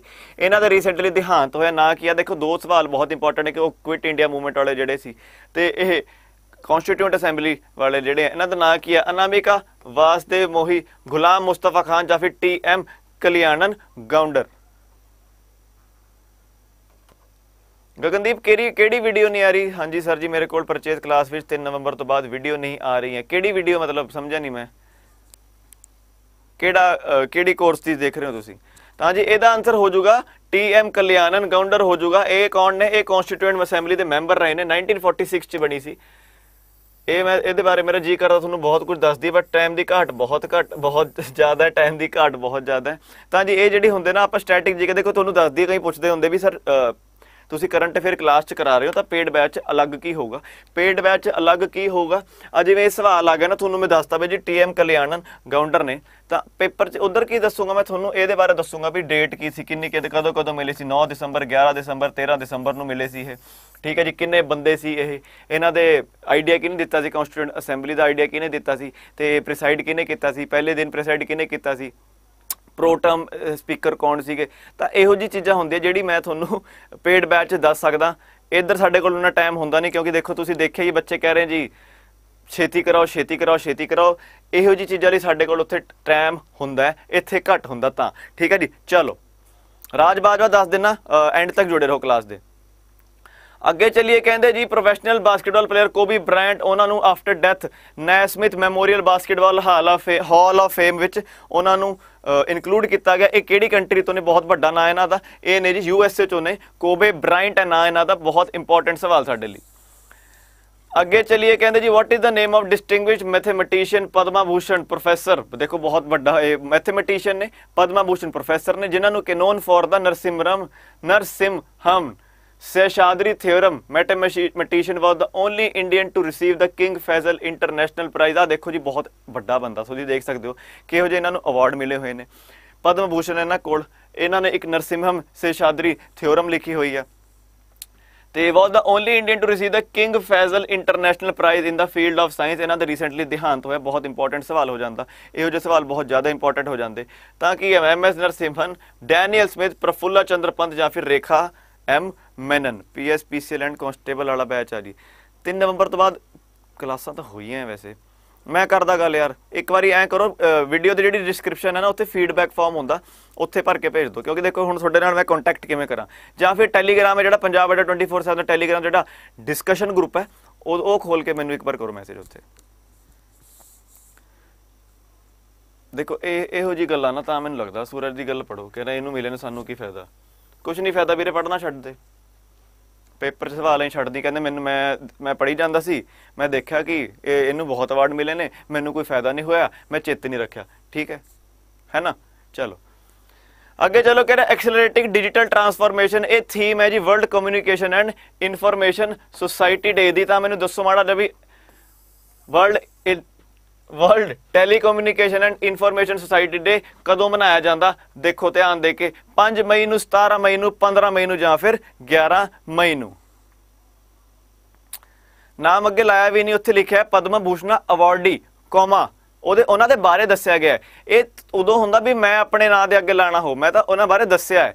ਤਾਂ ਇਹ ਦੱਸੋ ਮਾੜਾ ਜਿਹਾ accelerating digital transformation in challenging times ਇਹ ਥੀਮ ਹੈ ਜੀ world telecommunication and information society day ਦੀ। ਇਹ ਕਦੋਂ ਮਨਾਇਆ ਜਾਂਦਾ? ਇਹ ਮਨਾਇਆ ਜਾਂਦਾ ਜੀ 17 ਮਈ ਨੂੰ, ਧਿਆਨ ਦੇ ਕੇ 17 ਮਈ ਨੂੰ ਮਨਾਇਆ ਜਾਂਦਾ ਹੈ ਅਗਲੇ ਸਵਾਲ ਵੱਲ ਚਲਿਏ। ਤਾਂ ਔਮਨ ਮਾਊਂਟੇਨੀਅਰ ਦਾ ਨਾਂ ਹੈ, ਇਹਨਾਂ ਦਾ ਬਲਜੀਤ ਕੌਰ ਕਿੱਥੋਂ ਨੇ, ਇਹ ਹਿਮਾਚਲ ਪ੍ਰਦੇਸ਼ ਤੋਂ ਨੇ ਤੇ ਗਨਬਾਲਾ ਸ਼ਰਮਾ, ਇਹ ਰਾਜਸਥਾਨ ਤੋਂ ਨੇ, ਇਹ ਬਣੇ ਨੇ, ਪਹਿਲੀ ਇੰਡੀਅਨ ਔਮਨ ਬਣੇ ਨੇ। ਟੂ ਸਮਿਟ ਦਾ ਕਿੰਨੇ ਹਾਈਟ ਹੈ? ਮਾਊਂਟੇਨ ਆ ਮਾਊਂਟ ਪੁਮੋਰੀ ਕਿੱਥੇ, ਨੇਪਾਲ ਵਿੱਚ? ਹੁਣ ਦੇਖੋ, ਇਹੋ ਜਿਹੇ ਸਵਾਲ ਕੀ ਕਰੀਏ? ਕਹਿੰਦੇ, ਸਰ, ਸਾਨੂੰ ਤਾਂ ਆਂਦਾ ਨਹੀਂ, ਅਸੀਂ ਤਾਂ ਪੜੇ ਨਹੀਂ, ਸਾਨੂੰ ਚੇਤੇ ਹੈ ਨਹੀਂ ਵੀ ਕਿਹੜੀ ਕਿੱਥੇ, ਕਿਹੜਾ ਹੋਣਾ। ਹੁਣ ਮਾਊਂਟ ਪਮੋਰੀ ਪਤਾ ਨਹੀਂ ਕਿਹੜੇ ਮਾਊਂਟੇਨ ਆਉਗੇ। ਪਹਿਲਾਂ K2 ਕੰਚਨਜੰਗਾ ਐਵਰੇਸਟ ਯਾਦ ਕਰੀ ਜਾਓ। ਫਿਰ ਥੱਲੇ ਵਾਲੇ ਜਿਹੜੇ ਅਨਾਈ ਮੁੱਢੀ ਹੋਰੀ ਹੋਗੇ ਉਹ ਯਾਦ ਕਰੀ ਜਾਓ, ਹੁਣ ਪਤਾ ਨਹੀਂ ਕਿਹੜੇ। ਹੁਣ ਦੇਖੋ ਕਰਨਾ ਕੀ ਹੈ। ਇਹਨਾਂ ਨੇ ਕਿਹਾ ਪਾਉਂਟ ਮੋਮੋਰੀ ਨੇ- ਪੁਮੋਰੀ ਨੇਪਾਲ ਚ ਹੈ। ਸਿੱਧੀ ਜੀ ਗੱਲ ਹੈ, ਜੇ ਤੁਹਾਨੂੰ ਪਤਾ ਵੀ ਇਹ ਮਾਊਂਟ ਐਵਰੇਸਟ ਦੀ ਹਾਈਟ ਹੈ। ਤੇ ਤੁਹਾਨੂੰ ਪਤਾ ਇਹ ਹਾਈਐਸਟ ਹੈ।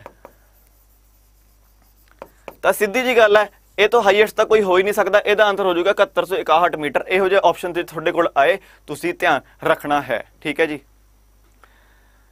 ਰੇਣੂ ਚਾਵਲਾ, ਤੁਹਾਡੇ ਕੋਲ ਈਮੇਲ ਚ ਆਇਆ ਹੋਣਾ, ਐ ਨਹੀਂ ਹੋ ਸਕਦਾ।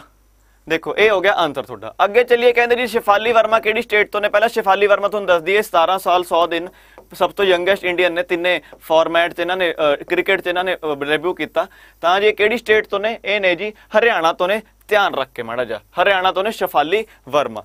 ਅੱਜ ਕੱਲ ਨਿਊਜ਼ 'ਚ ਸੀਗੇ, ਤਾਂ ਮੈਂ ਇਹ ਕਰਾਇਆ। ਅਗਲੇ ਸਵਾਲ ਵੱਲ ਚੱਲੀਏ।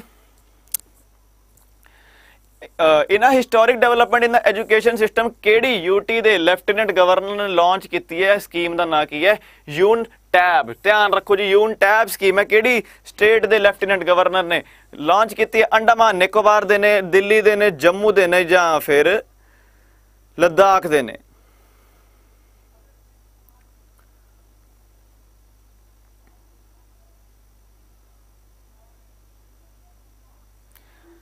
ਤਾਂ ਜੀ ਇਹਦਾ ਆਨਸਰ ਹੋ ਜਾਊਗਾ ਜੀ ਲਦਾਖ ਦੇ ਨੇ ਤੇ ਲਦਾਖ ਦੇ ਜਿਹੜੇ ਲੈਫਟੀਨੈਂਟ ਗਵਰਨਰ ਨੇ, ਇਹਨਾਂ ਦਾ ਨਾਂ ਕੀ ਹੈ? ਆਰ ਕੇ ਮਾਥੁਰ ਨਾਇ ਦਾ ਧਿਆਨ ਰੱਖਣਾ ਤੁਸੀਂ ਸਾਰਿਆਂ ਨੇ। ਅੱਗੇ ਚਲਿਏ ਰੀਇਮੇਜਿਨ ਰੀਕ੍ਰੀਏਟ ਰੀਸਟੋਰ ਇਹ ਹੈ ਥੀਮ ਵਰਲਡ এনवायरमेंट ਡੇ ਦੀ। ਤਾਂ ਜੀ ਵਰਲਡ এনवायरमेंट ਡੇ ਕਦੋਂ ਮਨਾਇਆ ਜਾਂਦਾ? ਧਿਆਨ ਰੱਖ ਕੇ ਬਹੁਤ ਇੰਪੋਰਟੈਂਟ ਦਿਨ ਹੈ। 5 ਜੂਨ 4 ਜੂਨ 3 ਜੂਨ ਜਾਂ ਫਿਰ 2 ਜੂਨ।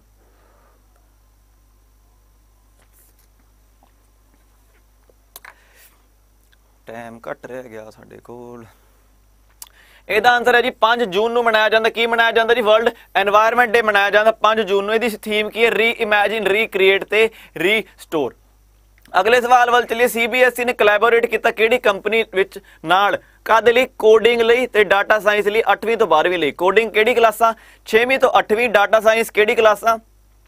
8ਵੀਂ ਤੋਂ 12ਵੀਂ ਲਈ ਕਿਹੜੇ ਨਾਲ ਕੀਤਾ ਹੋ ਸੀਬੀਐਸਈ ਨੇ? ਸੀਬੀਐਸਈ ਨੇ ਕੀਤਾ ਜੀ IBM Facebook, Microsoft ਜਾਂ ਫਿਰ Google ਨਾਲ? ਤੁਹਾਡਾ ਟਾਈਮ ਨਾ ਗਾਲਦੇ ਹੋਏ ਸੀਬੀਐਸਈ ਨੇ ਕੀਤਾ ਜੀ। Microsoft ਨਾਲ ਕੀਤਾ ਕਾਦੇ ਲਈ? ਕੋਡਿੰਗ ਕੀਤਾ ਜੀ 6ਵੀਂ ਤੋਂ 8ਵੀਂ ਲਈ ਤੇ ਡਾਟਾ ਸਾਇੰਸ ਕੀਤਾ 8ਵੀਂ ਤੋਂ 12ਵੀਂ ਲਈ। ਠੀਕ ਹੈ? ਚਲੋ। ਰੇਨੂ ਚਾਵਲਾ, ਤੁਸੀਂ ਵੀ ਜਿਹੜੀ YouTube ਦੀ ਜਿਹੜੀ ਵੀਡੀਓ ਚੱਲ ਰਹੀ ਹੈ, ਇਹ ਇਹਦੀ ਡਿਸਕ੍ਰਿਪਸ਼ਨ ਦੇਖੋ, ਉੱਥੇ ਫੀਡਬੈਕ ਫਾਰਮ ਹੈ, ਉੱਥੇ ਭਰੋ। ਜਾਂ ਫਿਰ ਪੰਜਾਬ ਅੱਡਾ 24/7 ਦਾ ਜਿਹੜਾ ਡਿਸਕਸ਼ਨ ਗਰੁੱਪ ਹੈ ਟੈਲੀਗ੍ਰਾਮ ਤੇ, ਉਹਦੇ ਉੱਤੇ ਮੈਸੇਜ ਕਰੋ। ਅਗਲੇ ਸਵਾਲ ਵੱਲ ਚਲਿਏ। ਸਿੱਧਾ ਹੀ ਸਵਾਲ, ਜਵਾਬ ਆ ਗਿਆ। ਚਲੋ, ਕਿਹੜੀ ਕੰਟਰੀ ਨੇ ਕਿਹਾ, ਤੁਹਾਨੂੰ ਟੈਕਸ ਇਨਸੈਂਟਿਵ ਦਿਆ ਕਰਾਂਗੇ, ਜੇ ਤੁਸੀਂ ਟਰਾਂਸਜੈਂਡਰ ਪੀਪਲ ਨੂੰ ਤੁਸੀਂ ਹਾਇਰ ਕਰਦੇ ਹੋ, ਕੰਪਨੀਆਂ ਨੂੰ ਕਹਿੰਦੇ, ਤੁਹਾਨੂੰ ਟੈਕਸ ਇਨਸੈਂਟਿਵ ਦਿਆ ਕਰਾਂਗੇ, ਤੁਸੀਂ ਘੱਟ ਟੈਸਟ ਘੱਟ ਟੈਕਸ ਭਰਿਆ ਕਰਨਾ। ਜੇ ਤੁਸੀਂ ਟਰਾਂਸਜੈਂਡਰ ਪੀਪਲ ਨੂੰ ਹਾਇਰ ਕਰਦੇ ਹੋ ਤਾਂ ਜੀ ਆਨਸਰ ਹੈ ਜੀ ਬੰਗਲਾਦੇਸ਼ ਬਹੁਤ ਹੀ ਵਧੀਆ ਇਨੀਸ਼ੀਏਟਿਵ ਹੈ। 5 ਸਟਾਰ ਸਵਾਲ ਤਾਂ ਇਹਨੂੰ ਕਰੀ ਲਓ। ਮੈਂ ਭੁੱਲ ਗਿਆ ਤੁਹਾਨੂੰ 5 5 ਸਟਾਰ ਦੱਸਣੇ। ਕਰਦੇ ਹਾਂ ਸ਼ੁਰੂ। ਚਲੋ। ਕਹਿੰਦੇ ਜੀ, ਕਿਹੜੀ ਸਿਟੀ ਵਿੱਚ ਨਰਿੰਦਰ ਸਿੰਘ ਤੋਮਰ ਸਾਡੇ ਜਿਹੜੇ ਐਗਰੀਕਲਚਰ ਮਿਨਿਸਟਰ ਨੇ, ਇਹਨਾਂ ਨੇ ਕਿਹੜਾ ਇੱਕ ਫੂਡ ਪਾਰਕ ਹੈ ਜਿਹਨਾਂ ਜਿਹਦਾ ਨਾਮ ਹੈ ਜੀ Indus best mega food park ਇਹਨਾਂ ਨੇ ਇਨੋਗਰੇਟ ਕੀਤਾ ਹੈ ਨਾ? ਤਾਂ ਜੀ ਕੀ ਹੈ? ਰਿਆਸੀ ਵਿੱਚ ਰਾਏਪੁਰ, ਭੁਵਨੇਸ਼ਵਰ ਜਾਂ ਫਿਰ ਗਾਜ਼ੀਆਬਾਦ ਵਿੱਚ।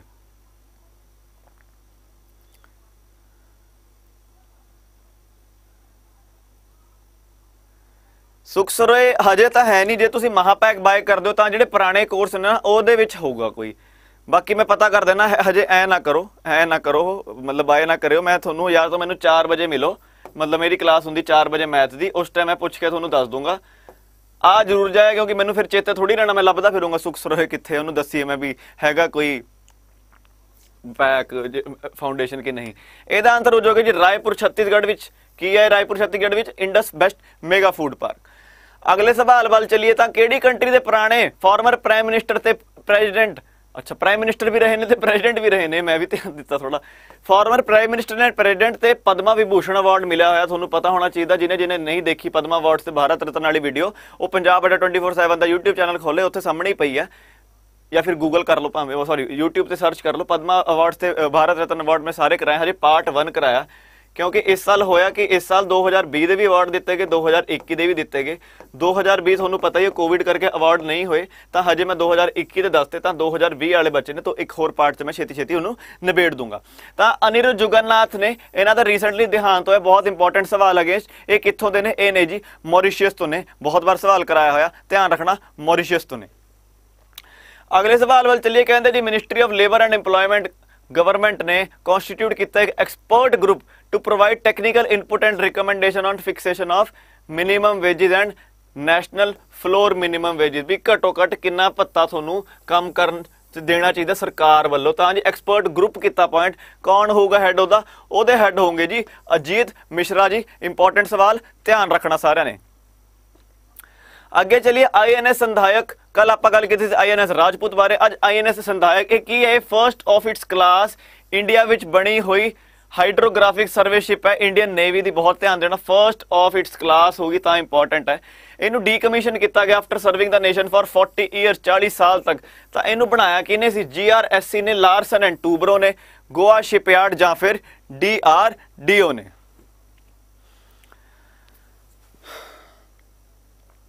ਤਾਂ ਜੀ ਇਹਦਾ ਆਨਸਰ ਹੋ ਜਾਊਗਾ ਜੀ। ਜੀਆਰਐਸਸੀ ਨੇ ਬਣਾਈ ਹੈ, ਕੀ ਨਾ ਬੁੱਕ ਸ਼ਿਪ ਦਾ ਆਈਐਨਐਸ ਸੰਧਾਇਕ ਕੀ ਸੀ ਇਹ?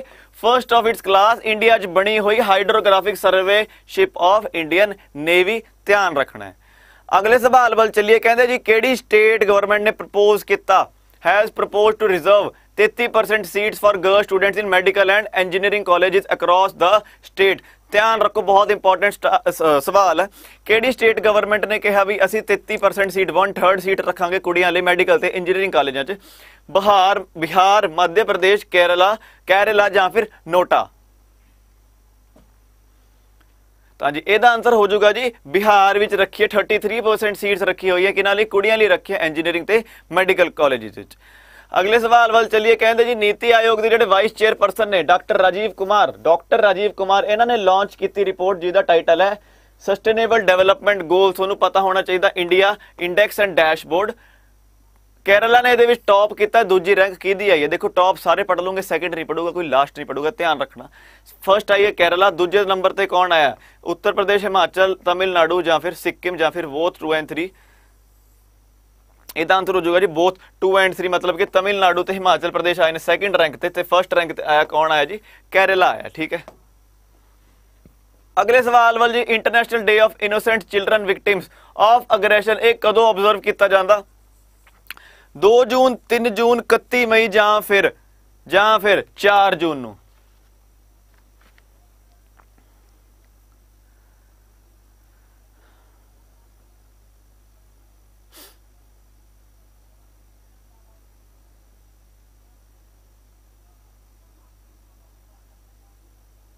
ਤਾਂ ਜੀ ਇਹਦਾ ਆਨਸਰ ਹੋ ਜਾਊਗਾ ਕੀ? ਹੋ ਜਾਊਗਾ 4 ਜੂਨ ਹੋ ਜਾਊਗਾ international day of innocent children victims of aggression ਠੀਕ ਹੈ ਜੀ। ਅਗਲਾ ਚਲਿਏ, ਕਹਿੰਦੇ ਯੂਨੀਅਨ ਕੈਬਨਿਟ ਨੇ ਅਪਰੂਵਲ ਦਿੱਤਾ for signing of an agreement on cooperation in field of mass media ਕਿਹੜੀ ਆਰਗੇਨਾਈਜੇਸ਼ਨ ਦੀ ਕੰਟਰੀਜ਼ ਵਿੱਚ? ਸਾਰਕ ਐਸਸੀਓ ਏਸ਼ੀਆਨ ਜਾਂ ਫਿਰ ਬਿਮਸਟੈਕ ਇਹਦਾ ਤੁਹਾਨੂੰ ਪਤਾ ਹੋਣਾ ਚਾਹੀਦਾ ਇੰਪੋਰਟੈਂਟ ਸਵਾਲ ਹੈ ਸ਼ੰਘਾਈ ਕੋਆਪਰੇਸ਼ਨ ਆਰਗੇਨਾਈਜੇਸ਼ਨ ਐਸਸੀਓ ਦੀ ਕੰਟਰੀ ਦੇ ਵਿੱਚ ਇਹਨਾਂ ਨੇ ਆਪਸ ਵਿੱਚ ਕੀਤਾ ਵੀ cooperation in the field of mass media ਅਗਲੇ ਸਵਾਲ ਵੱਲ ਚੱਲੀਏ ਤਾਂ ਡਿਫੈਂਸ ਮਿਨਿਸਟਰੀ ਨੇ ਰਿਜ਼ਰਵ ਕੀਤਾ ਓਵਰ ਕਿੰਨਾ for procurement from the private industry ਤੁਹਾਨੂੰ ਪਤਾ ਹੋਣਾ ਚਾਹੀਦਾ, ਅਸੀਂ ਥੋੜਾ ਪ੍ਰਾਈਵੇਟਾਈਜੇਸ਼ਨ ਵੱਲ ਜਾ ਰਹੇ ਹਾਂ। ਤਾਂ ਜੀ ਡਿਫੈਂਸ ਚ ਵੀ ਆਪਾਂ ਡਿਫੈਂਸ ਸੈਕਟਰ 'ਚ ਆਪਾਂ ਪ੍ਰਾਈਵੇਟਾਈਜੇਸ਼ਨ ਬਾਕੀ ਜਿਹੜੀ ਪ੍ਰਾਈਵੇਟ ਕੰਪਨੀ ਜਿਹੜੀ ਨਵੀਂ ਆ ਰਹੀ, ਉਹਨਾਂ ਨੂੰ ਥੋੜਾ ਅਸੀਂ ਪ੍ਰੋਤਸਾਹਨ ਦੇ ਰਹੇ ਹਾਂ। ਤਾਂ ਡਿਫੈਂਸ ਮਿਨਿਸਟਰੀ ਨੇ ਕਿੰਨੇ ਪੈਸੇ ਰੱਖੇ ਨੇ ਨੈਟ ਸਾਈਡ ਤੇ। 17500 ਕਰੋੜ 141668 ਕਰੋੜ 64180 ਜਾਂ ਫਿਰ 23846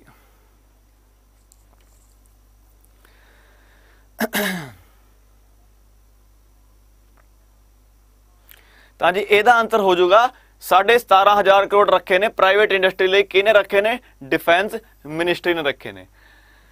ਯੂਨੀਅਨ ਮੇ health minister doctor Harshvardhan ex ਲਿਖ ਦਿਆ ਹੁਣ ਤਾਂ ਜੀ ਮਨਸੁਖ ਮੰਡਵੀਆ ਜੀ ਨੇ ex union health minister doctor Harshvardhan ji ਨੇ ਟੈਨਿਓਰ ਪੂਰਾ ਕੀਤਾ ਆਪਣਾ chairman of WHO executive board ਜੂਨ 2 ਨੂੰ।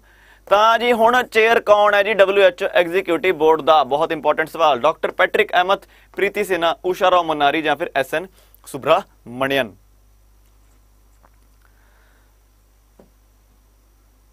ਤਾਂ ਜੀ ਇਹਦਾ ਆਨਸਰ ਹੋ ਜਾਊਗਾ ਕਿ ਡਾਕਟਰ ਪੈਟ੍ਰਿਕ ਅਮੋਥ ਹੋ ਜਾਊਗਾ ਆਨਸਰ ਇਹਦਾ। ਇਹ ਕੌਣ ਬਣੇ ਨੇ? WHO ਐਗਜ਼ੀਕਿਊਟਿਵ ਬੋਰਡ ਦੇ ਚੇਅਰ ਬਣੇ ਨੇ। ਚੇਅਰ ਮਤਲਬ ਕੁਰਸੀ ਨਹੀਂ ਬਣੇ ਚੇਅਰਮੈਨ ਬਣੇ ਨੇ। ਠੀਕ ਠੀਕ ਹੈ ਜੀ।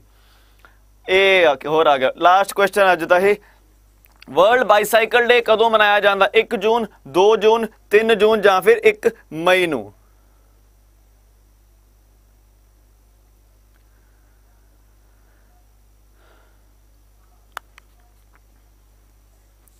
ਤਾਂ ਜੀ ਇਹਦਾ ਆਨਸਰ ਹੋ ਜਾਊਗਾ ਜੀ 3 ਜੂਨ ਨੂੰ ਮਨਾਇਆ ਜਾਂਦਾ, ਕੀ ਮਨਾਇਆ ਜਾਂਦਾ? ਵਰਲਡ ਬਾਈਸਾਈਕਲ ਡੇ ਮਨਾਇਆ ਜਾਂਦਾ। ਚਲੋ ਜੀ, ਹੁਣ ਅੱਜ ਦੇ ਕਰੰਟ ਅਫੇਅਰ ਕਰਦੇ ਆ ਜਿਹੜੇ ਆਪਾਂ ਕਰਨੇ ਆ, ਠੀਕ ਹੈ ਜੀ? ਤਾਂ ਪੰਜ ਛੇ ਜਿਹੜੇ ਇੰਪੋਰਟੈਂਟ ਆਪਾਂ ਕੀਤੇ ਨੇ। ਤਾਂ ਜੀ, ਪਹਿਲਾ ਜੀ who has been appointed as the Rajya Sabha secretary general ਤੁਹਾਨੂੰ ਪਤਾ ਹੋਣਾ ਚਾਹੀਦਾ, ਪਹਿਲਾ ਜੀ ਪੀਪੀ ਕੇ ਰਾਮਚਰਿਉਲੂ ਜੀ। ਸੀਗੇ, ਕੀ ਸੀਗੇ ਇਹ? ਇਹਦੀ ਸੀਗੇ ਰਾਜ ਸਭਾ ਦੇ ਸੈਕਟਰੀ ਜਨਰਲ ਇਹ ਕੌਣ ਨੇ? ਸਾਡੇ ਵਾਈਸ ਪ੍ਰੈਜ਼ੀਡੈਂਟ ਨੇ ਤੇ ਇਹਨਾਂ ਨੂੰ ex officio chairman of Rajya Sabha ਵੀ ਇਹੀ ਹੁੰਦੇ ਨੇ। Ex official chairman of Rajya Sabha ਵੀ ਇਹੀ ਨੇ। ਤਾਂ ਜੀ ਆਬਵੀਅਸ ਜੀ ਗੱਲ ਹੈ, ਨੋਟਾ ਵੀ ਹੋ ਸਕਦਾ। ਤਾਂ ਜੀ ਇਹਦਾ ਆਨਸਰ ਹੋ ਜਾਊਗਾ ਪੀਸੀ ਮੋਢੀ। ਇਹ ਨੇ ਜੀ ਪੀਸੀ ਮੋਡੀ ਜੀ, ਇਹ ਕੌਣ ਬਣੇ ਨੇ? ਹੁਣ ਇਹ ਬਣੇ ਨੇ ਰਾਜ ਸਭਾ ਦੇ ਸੈਕਟਰੀ ਜਨਰਲ ਤੇ ਪੁਰਾਣੇ ਸੀਗੇ ਜਿਹੜੇ ਪੀਪੀ ਕੇ ਰਾਮਚਰਿਆਲੂ ਇਹਨਾਂ ਨੂੰ ਅਪਾਇੰਟ ਕੀਤਾ ਗਿਆ as an adviser in the Rajya Sabha secretariat ਤਾਂ ਬਹੁਤ ਇੰਪੋਰਟੈਂਟ ਸਵਾਲ ਹੋ ਜਾਂਦਾ। ਧਿਆਨ ਰੱਖਣਾ ਸਾਰਿਆਂ ਨੇ। ਅਗਲੇ ਸਵਾਲ ਵੱਲ ਚਲੀਏ। ਵਿਚ ਕੰਟਰੀ ਦੇ, ਕਿਹੜੀ ਕੰਟਰੀ ਦੇ ਆਰਮੀ ਚੀਫ ਨੂੰ ਦਿੱਤਾ ਗਿਆ, ਕਿਹੜਾ ਰੈਂਕ ਦਿੱਤਾ ਗਿਆ ਜੀ? ਜਨਰਲ ਆਫ ਇੰਡੀਅਨ ਆਰਮੀ ਦੇਖੋ ਜੀ ਕਿਹੜੀ ਕੰਟਰੀ ਦੇ ਚੀਫ ਨੂੰ ਜਨਰਲ ਆਫ ਇੰਡੀਅਨ ਆਰਮੀ ਦਾ ਰੈਂਕ ਦਿੱਤਾ ਗਿਆ? U S A Maldives Nepal ਜਾਂ ਸ਼੍ਰੀਲੰਕਾ ਬਹੁਤ ਇੰਪੋਰਟੈਂਟ ਹੈ। ਇਹ ਜੀ ਬਹੁਤ ਪੁਰਾਣੀ ਚੱਲੀ ਆ ਰਹੀ ਹੈ, ਰੀਤ ਚੱਲੀ ਆ ਰਹੀ ਹੈ ਇਸ ਕੰਟਰੀ ਨਾਲ। ਤਾਂ ਜੀ ਇਸ ਕੰਟਰੀ ਇਹਦਾ ਨਾਮ ਹੈ ਜੀ ਨੇਪਾਲ ਹੈ ਜੀ। ਆਹ ਦੇਖੋ ਜੀ, ਇਹ ਨੇ ਜੀ ਨੇਪਾਲ ਦੇ ਚੀਫ ਨੇ ਆ ਸਾਡੇ ਰਾਸ਼ਟਰਪਤੀ ਜੀ ਰਾਮਨਾਥ ਕੋਵਿੰਦ ਜੀ, ਇਹਨਾਂ ਨੇ ਦਿੱਤੀ ਰੈਂਕ ਕਿਹੜੀ ਦਿੱਤੀ ਹੈ? ਜਨਰਲ ਆਫ ਇੰਡੀਅਨ ਆਰਮੀ ਦੀ ਰੈਂਕ ਦਿੱਤੀ ਹੈ। ਇਹਦੇ ਬਾਰੇ ਦੋ ਗੱਲਾਂ। 1950 ਵਿੱਚ ਆ ਦੇਖੋ, ਮੈਂ ਕਿਹਾ ਬਹੁਤ ਸਾਲਾਂ ਤੋਂ ਰੀਤ ਚੱਲੀ ਆ ਰਹੀ ਹੈ ਟ੍ਰੈਡੀਸ਼ਨ 1950 ਵਿੱਚ ਸ਼ੁਰੂ ਹੋਈ ਇੱਕ ਪਰੰਪਰਾ ਦੀ ਨਿਰੰਤਰਤਾ ਵਿੱਚ ਨੇਪਾਲ ਦੇ ਸੈਨਾ ਪ੍ਰਮੁੱਖ ਸੈਨਾ ਮੁਖੀ ਜਨਰਲ ਪ੍ਰਭੂ ਰਾਮ ਸ਼ਰਮਾ ਨੂੰ ਰਾਸ਼ਟਰਪਤੀ ਰਾਮਨਾਥ ਕੋਵਿੰਦ ਦੁਆਰਾ ਭਾਰਤੀ ਸੈਨਾ ਦੇ ਜਨਰਲ ਦੇ ਆਨਰੇਰੀ ਰੈਂਕ ਨਾਲ ਸਨਮਾਨਿਤ ਕੀਤਾ ਗਿਆ ਸੀ। ਨੇਪਾਲ ਨੇ ਪਿਛਲੇ ਸਾਲ ਨਵੰਬਰ ਵਿੱਚ, ਇਹ ਵੀ ਦੇਖੋ ਬਹੁਤ ਇੰਪੋਰਟੈਂਟ ਹੈ, ਕਾਠਮਾਂਡੂ ਦੇ ਦੌਰੇ ਦੌਰਾਨ ਭਾਰਤੀ ਸੈਨਾ ਮੁਖੀ ਕੀ ਨਾ ਉਹਨਾਂ ਦਾ, ਜਨਰਲ ਮਨੋਜ ਮੁਕੁੰਦ ਨਰਾਵਨੇ ਨੂੰ ਨੇਪਾਲੀ ਫੌਜ ਦੇ ਜਨਰਲ ਦਾ ਆਨਰੇਰੀ ਰੈਂਕ ਪ੍ਰਦਾਨ ਕੀਤਾ ਸੀ। ਇਹ ਧਿਆਨ ਰੱਖਣਾ ਬਹੁਤ ਜ਼ਰੂਰੀ। ਪਿਛਲੇ ਸਾਲ ਜਦੋਂ ਸਾਡੇ ਜਨਰਲ ਮਨੋਜ ਮੁਕੁੰਦ ਨਰਾਵਨੇ ਜੀ ਆਰਮੀ ਦੇ ਜਿਹੜੇ ਚੀਫ ਨੇ, ਜਦੋਂ ਨੇਪਾਲ ਦੇ ਦੌਰੇ ਤੇ ਗਏ, ਉਦੋਂ ਇਹਨਾਂ ਨੂੰ ਜਨਰਲ ਆਫ ਨੇਪਾਲੀ ਆਰਮੀ ਦਿੱਤਾ ਗਿਆ ਤੇ ਹੁਣ ਨੇਪਾਲ ਦੇ ਜਿਹੜੇ ਚੀਫ ਨੇ, ਕੀ ਨਾ ਉਹਨਾਂ ਦਾ? ਜਨਰਲ ਪ੍ਰਭੂ ਰਾਮ ਸ਼ਰਮਾ, ਇਹਨਾਂ ਨੂੰ ਜਨਰਲ ਆਫ ਇੰਡੀਅਨ ਆਰਮੀ ਦਾ ਰੈਂਕ ਦਿੱਤਾ ਗਿਆ। ਇਹ ਧਿਆਨ ਰੱਖਣਾ ਤੁਸੀਂ। ਇਹ, ਉਹੀ ਫੋਟੋ ਅੱਗੇ ਚੱਲੀਏ ਜੀ, ਅੰਨਪੂਰਨਾ ਆਈਡਲ, ਇਹ ਚੋਰੀ ਹੋਈ ਸੀ ਯੂਪੀ ਤੋਂ। 100 ਸਾਲ ਪੁਰਾਣੀ ਹੈ, ਇਹ ਕਿੱਥੋਂ ਵਾਪਸ ਆਈ ਹੈ ਹੁਣ? ਕੈਨੇਡਾ ਤੋਂ, ਯੂ ਐਸ ਏ ਤੋਂ ਯੂਕੇ ਜਾਂ ਫਿਰ ਆਸਟ੍ਰੇਲੀਆ ਤੋਂ?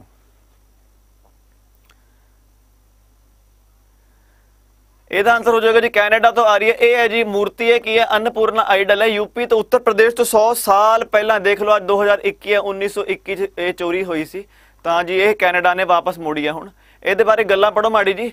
ਦੇਵੀ ਅੰਨਪੂਰਨਾ ਦੀ ਇੱਕ ਮੂਰਤੀ ਜੋ ਲਗਭਗ 100 ਸਾਲ ਪਹਿਲਾਂ ਵਾਰਾਣਸੀ ਤੋਂ ਚੋਰੀ ਕੀਤੀ ਗਈ ਸੀ ਅਤੇ ਬਾਅਦ ਵਿੱਚ ਕੈਨੇਡਾ ਵਿੱਚ ਲੱਭੀ ਗਈ ਸੀ, ਆਪਣੇ ਸਹੀ ਸਥਾਨ ਤੇ ਵਾਪਸ ਆਉਣ ਲਈ ਪੂਰੀ ਤਰ੍ਹਾਂ ਤਿਆਰ ਹੈ ਅਤੇ ਵਾਰਾਣਸੀ ਦੇ ਕਾਸ਼ੀ ਵਿਸ਼ਵਨਾਥ ਮੰਦਿਰ ਨੂੰ ਸੁਸ਼ੋਭਿਤ ਕਰੇਗੀ। ਇਹ ਉੱਚ- ਇਹਦੀ ਉਚਾਈ ਵਿੱਚ, ਇਹ ਉਚਾਈ ਵਿੱਚ 17 ਸੈਂਟੀਮੀਟਰ, ਚੌੜਾਈ ਵਿੱਚ 9 ਸੈਂਟੀਮੀਟਰ ਅਤੇ ਮੋਟਾਈ ਵਿੱਚ 4 ਸੈਂਟੀਮੀਟਰ ਹੈ। ਤਾਂ ਗੱਲਾਂ ਧਿਆਨ ਰੱਖਣੀਆਂ ਕਿੱਥੇ ਆਊਗੀ? ਇਹ ਆਊਗੀ ਜੀ ਕਾਸ਼ੀ ਵਿਸ਼ਵਨਾਥ ਟੈਂਪਲ, ਵਾਰਾਣਸੀ ਵਿੱਚ ਆਊਗੀ। ਕਿਹੜੀ ਮੂਰਤੀ ਆਊਗੀ?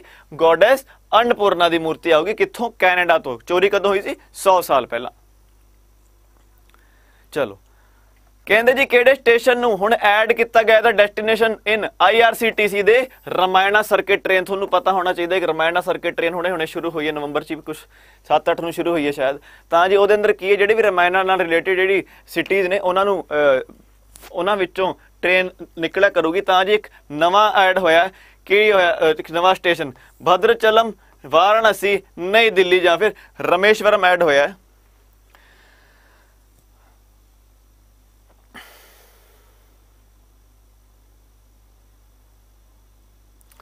ਤਾਂ ਜੀ ਇਹਦਾ ਆਨਸਰ ਹੋ ਜਾਊਗਾ ਜੀ ਭਦਰਚਲਮ ਵਿੱਚ। ਇਹਦੇ ਬਾਰੇ ਗੱਲਾਂ ਸੁਣੋ। ਭਦਰਚਲਮ ਜਿਹੜਾ ਹੈ ਟੈਂਪਲ ਹੈ, ਇਹ ਹੈ ਸ਼੍ਰੀ ਸੀਤਾ ਰਾਮਚੰਦਰ ਸਵਾਮੀ ਟੈਂਪਲ ਹੈ। ਇੱਥੇ ਸ਼੍ਰੀ ਸੀਤਾ ਰਾਮ ਸਵਾਮੀ ਟੈਂਪਲ ਹੈ। ਤਾਂ ਜੀ ਏਮ ਆਫ ਰਮਾਇਣਾ ਯਾਤਰਾ ਟ੍ਰੇਨ ਕੀ ਹੈ? Is to connect all important locations of lord Rama's journey ਮੈਂ ਤੁਹਾਨੂੰ ਦੱਸਿਆ। ਲਾਰਡ ਰਾਮਾ ਜਿੱਥੇ ਜਿੱਥੇ ਗਏ ਨੇ, ਇਹਨਾਂ ਨੇ ਉਹਨੂੰ ਉਹ ਉਹ ਸਾਰੀ ਸਾਈਟਸ ਨੂੰ ਇਹਨਾਂ ਨੇ ਕਨੈਕਟ ਕਰਨਾ। The inclusion of Bhadrachalam road station will complete the Ramayana circuit Ramayana circuit ਪੂਰਾ ਹੋ ਗਿਆ। ਇਹ ਦਿੱਲੀ ਤੋਂ ਸ਼ੁਰੂ ਹੁੰਦੀ ਹੈ ਟ੍ਰੇਨ ਠੀਕ ਹੈ ਜੀ। ਤਾਂ ਜੀ ਐਨਸੀਬੀ ਅੱਜ ਕੱਲ ਦੇਖੋ ਕਿੰਨੀ ਜ਼ਿਆਦਾ ਖਬਰਾਂ ਚ ਇਹ। ਇਹ ਤਾਂ ਦੇਖੋ ਯਾਦ ਕਰਨਾ ਬਣਦਾ ਤੁਹਾਡਾ। ਤਾਂ ਜੀ ਐਨਸੀਬੀ ਦੇ ਡਾਇਰੈਕਟਰ ਕਿਹਨੂੰ ਬਣਾਇਆ ਗਿਆ? ਆਓ ਸੱਚ ਭਦਰਚਲਮ ਹੈ ਕਿੱਥੇ? ਇਹ ਹੈ ਜੀ ਤੇਲੰਗਾਨਾ ਵਿੱਚ। ਤਾਂ ਜੀ ਐਨਸੀਬੀ ਵਾਲਿਆਂ ਨੇ ਤਾਂ ਵੈਸੇ ਹੀ ਗਾਹ ਪਾਇਆ ਹੋਇਆ, ਇਹਦੇ ਪ੍ਰਧਾਨ ਕਿਹਨੂੰ ਬਣਾਇਆ ਗਿਆ? ਐਸਐਨ ਪ੍ਰਧਾਨ ਨੂੰ ਪ੍ਰਧਾਨ ਬਣਾਇਆ ਗਿਆ। ਕੁਲਦੀਪ ਸਿੰਘ ਨੂੰ ਰਾਕੇਸ਼ ਅਸਥਾਨਾ ਜਾਂ ਫਿਰ ਅਤੁਲ ਕੁਮਾਰ ਸਿੰਘ ਨੂੰ।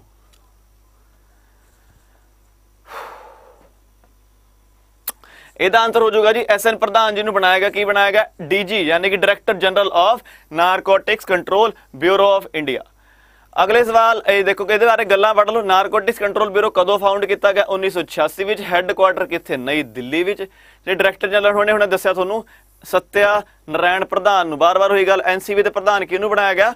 ਪ੍ਰਧਾਨ ਨੂੰ ਬਣਾਇਆ ਗਿਆ। ਕੀ ਬਣਾਇਆ ਗਿਆ? ਪ੍ਰਧਾਨ ਨੂੰ ਐਨਸੀਬੀ ਦਾ ਪ੍ਰਧਾਨ ਬਣਾਇਆ ਗਿਆ। ਐ ਯਾਦ ਰੱਖ ਲਓ। ਅਗਲਾ ਸਵਾਲ, ਕਿਹੜਾ ਸਪੋਰਟ ਹੈ ਜਿਹੜਾ ਕਿ ਡੈਬਿਊ ਕਰੂਗਾ? ਮਤਲਬ ਕਿ ਪਹਿਲੀ ਵਾਰੀ ਖੇਡਿਆ ਜਾਊਗਾ ਕਿੱਥੇ? ਕਾਮਨਵੈਲਥ ਗੇਮਸ 2022 ਵਿੱਚ, ਜਿਹੜੀ ਕਿ ਕਿੱਥੇ ਹੋ ਰਹੀ ਹੈ? ਬਰਮਿੰਗਮ ਵਿੱਚ ਹੋ ਰਹੀ ਹੈ ਯੂਕੇ ਵਿੱਚ। ਕਿੰਨਾ, ਕਿਹੜਾ ਸਪੋਰਟ ਪਹਿਲੀ ਵਾਰੀ ਖੇਡਿਆ ਜਾ ਰਿਹਾ ਉੱਥੇ? Man men's cricket women cricket skateboarding ਜਾਂ ਫਿਰ 3x3 ਬਾਸਕਟਬਾਲ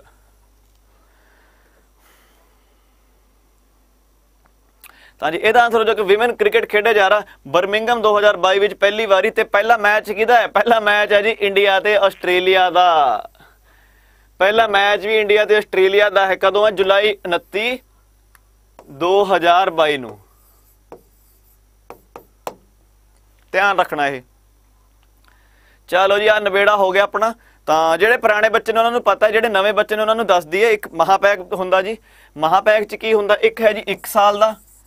ਇੱਕ ਹੈ ਜੀ 2 ਸਾਲ ਦਾ। ਇਹਦੇ ਅੰਦਰ ਹੋਊਗਾ ਕਿ ਤੁਸੀਂ ਇੱਕ ਵਾਰ ਪੇਮੈਂਟ ਕਰਨੀ ਹੈ ਤੇ ਜਿੰਨੇ ਵੀ ਪੇਪਰ ਜਾ ਚੁੱਕੇ ਨੇ ਪੁਰਾਣੇ ਪੁਰਾਣੇ,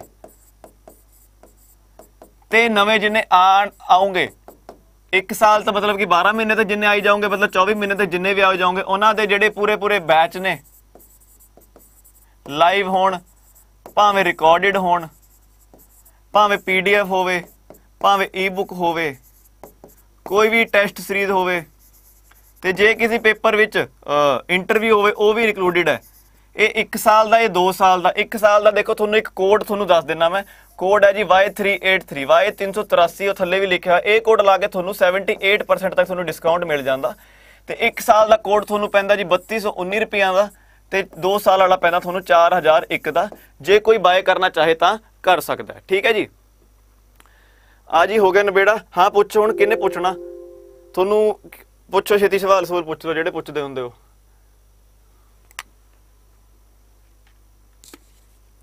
ਅੱਛਾ, ਮਹਾਪੈਕ ਚਿਲड्रन ਡੇ ਆਫਰ 95% ਠੀਕ ਹੈ ਠੀਕ ਹੈ।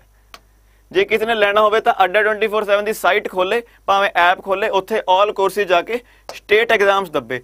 ਤੇ ਸਟੇਟ ਐਗਜ਼ਾਮ ਜਾ ਕੇ ਪੰਜਾਬ ਸਟੇਟ ਐਗਜ਼ਾਮ ਦੱਬਣਾ ਤੁਸੀਂ।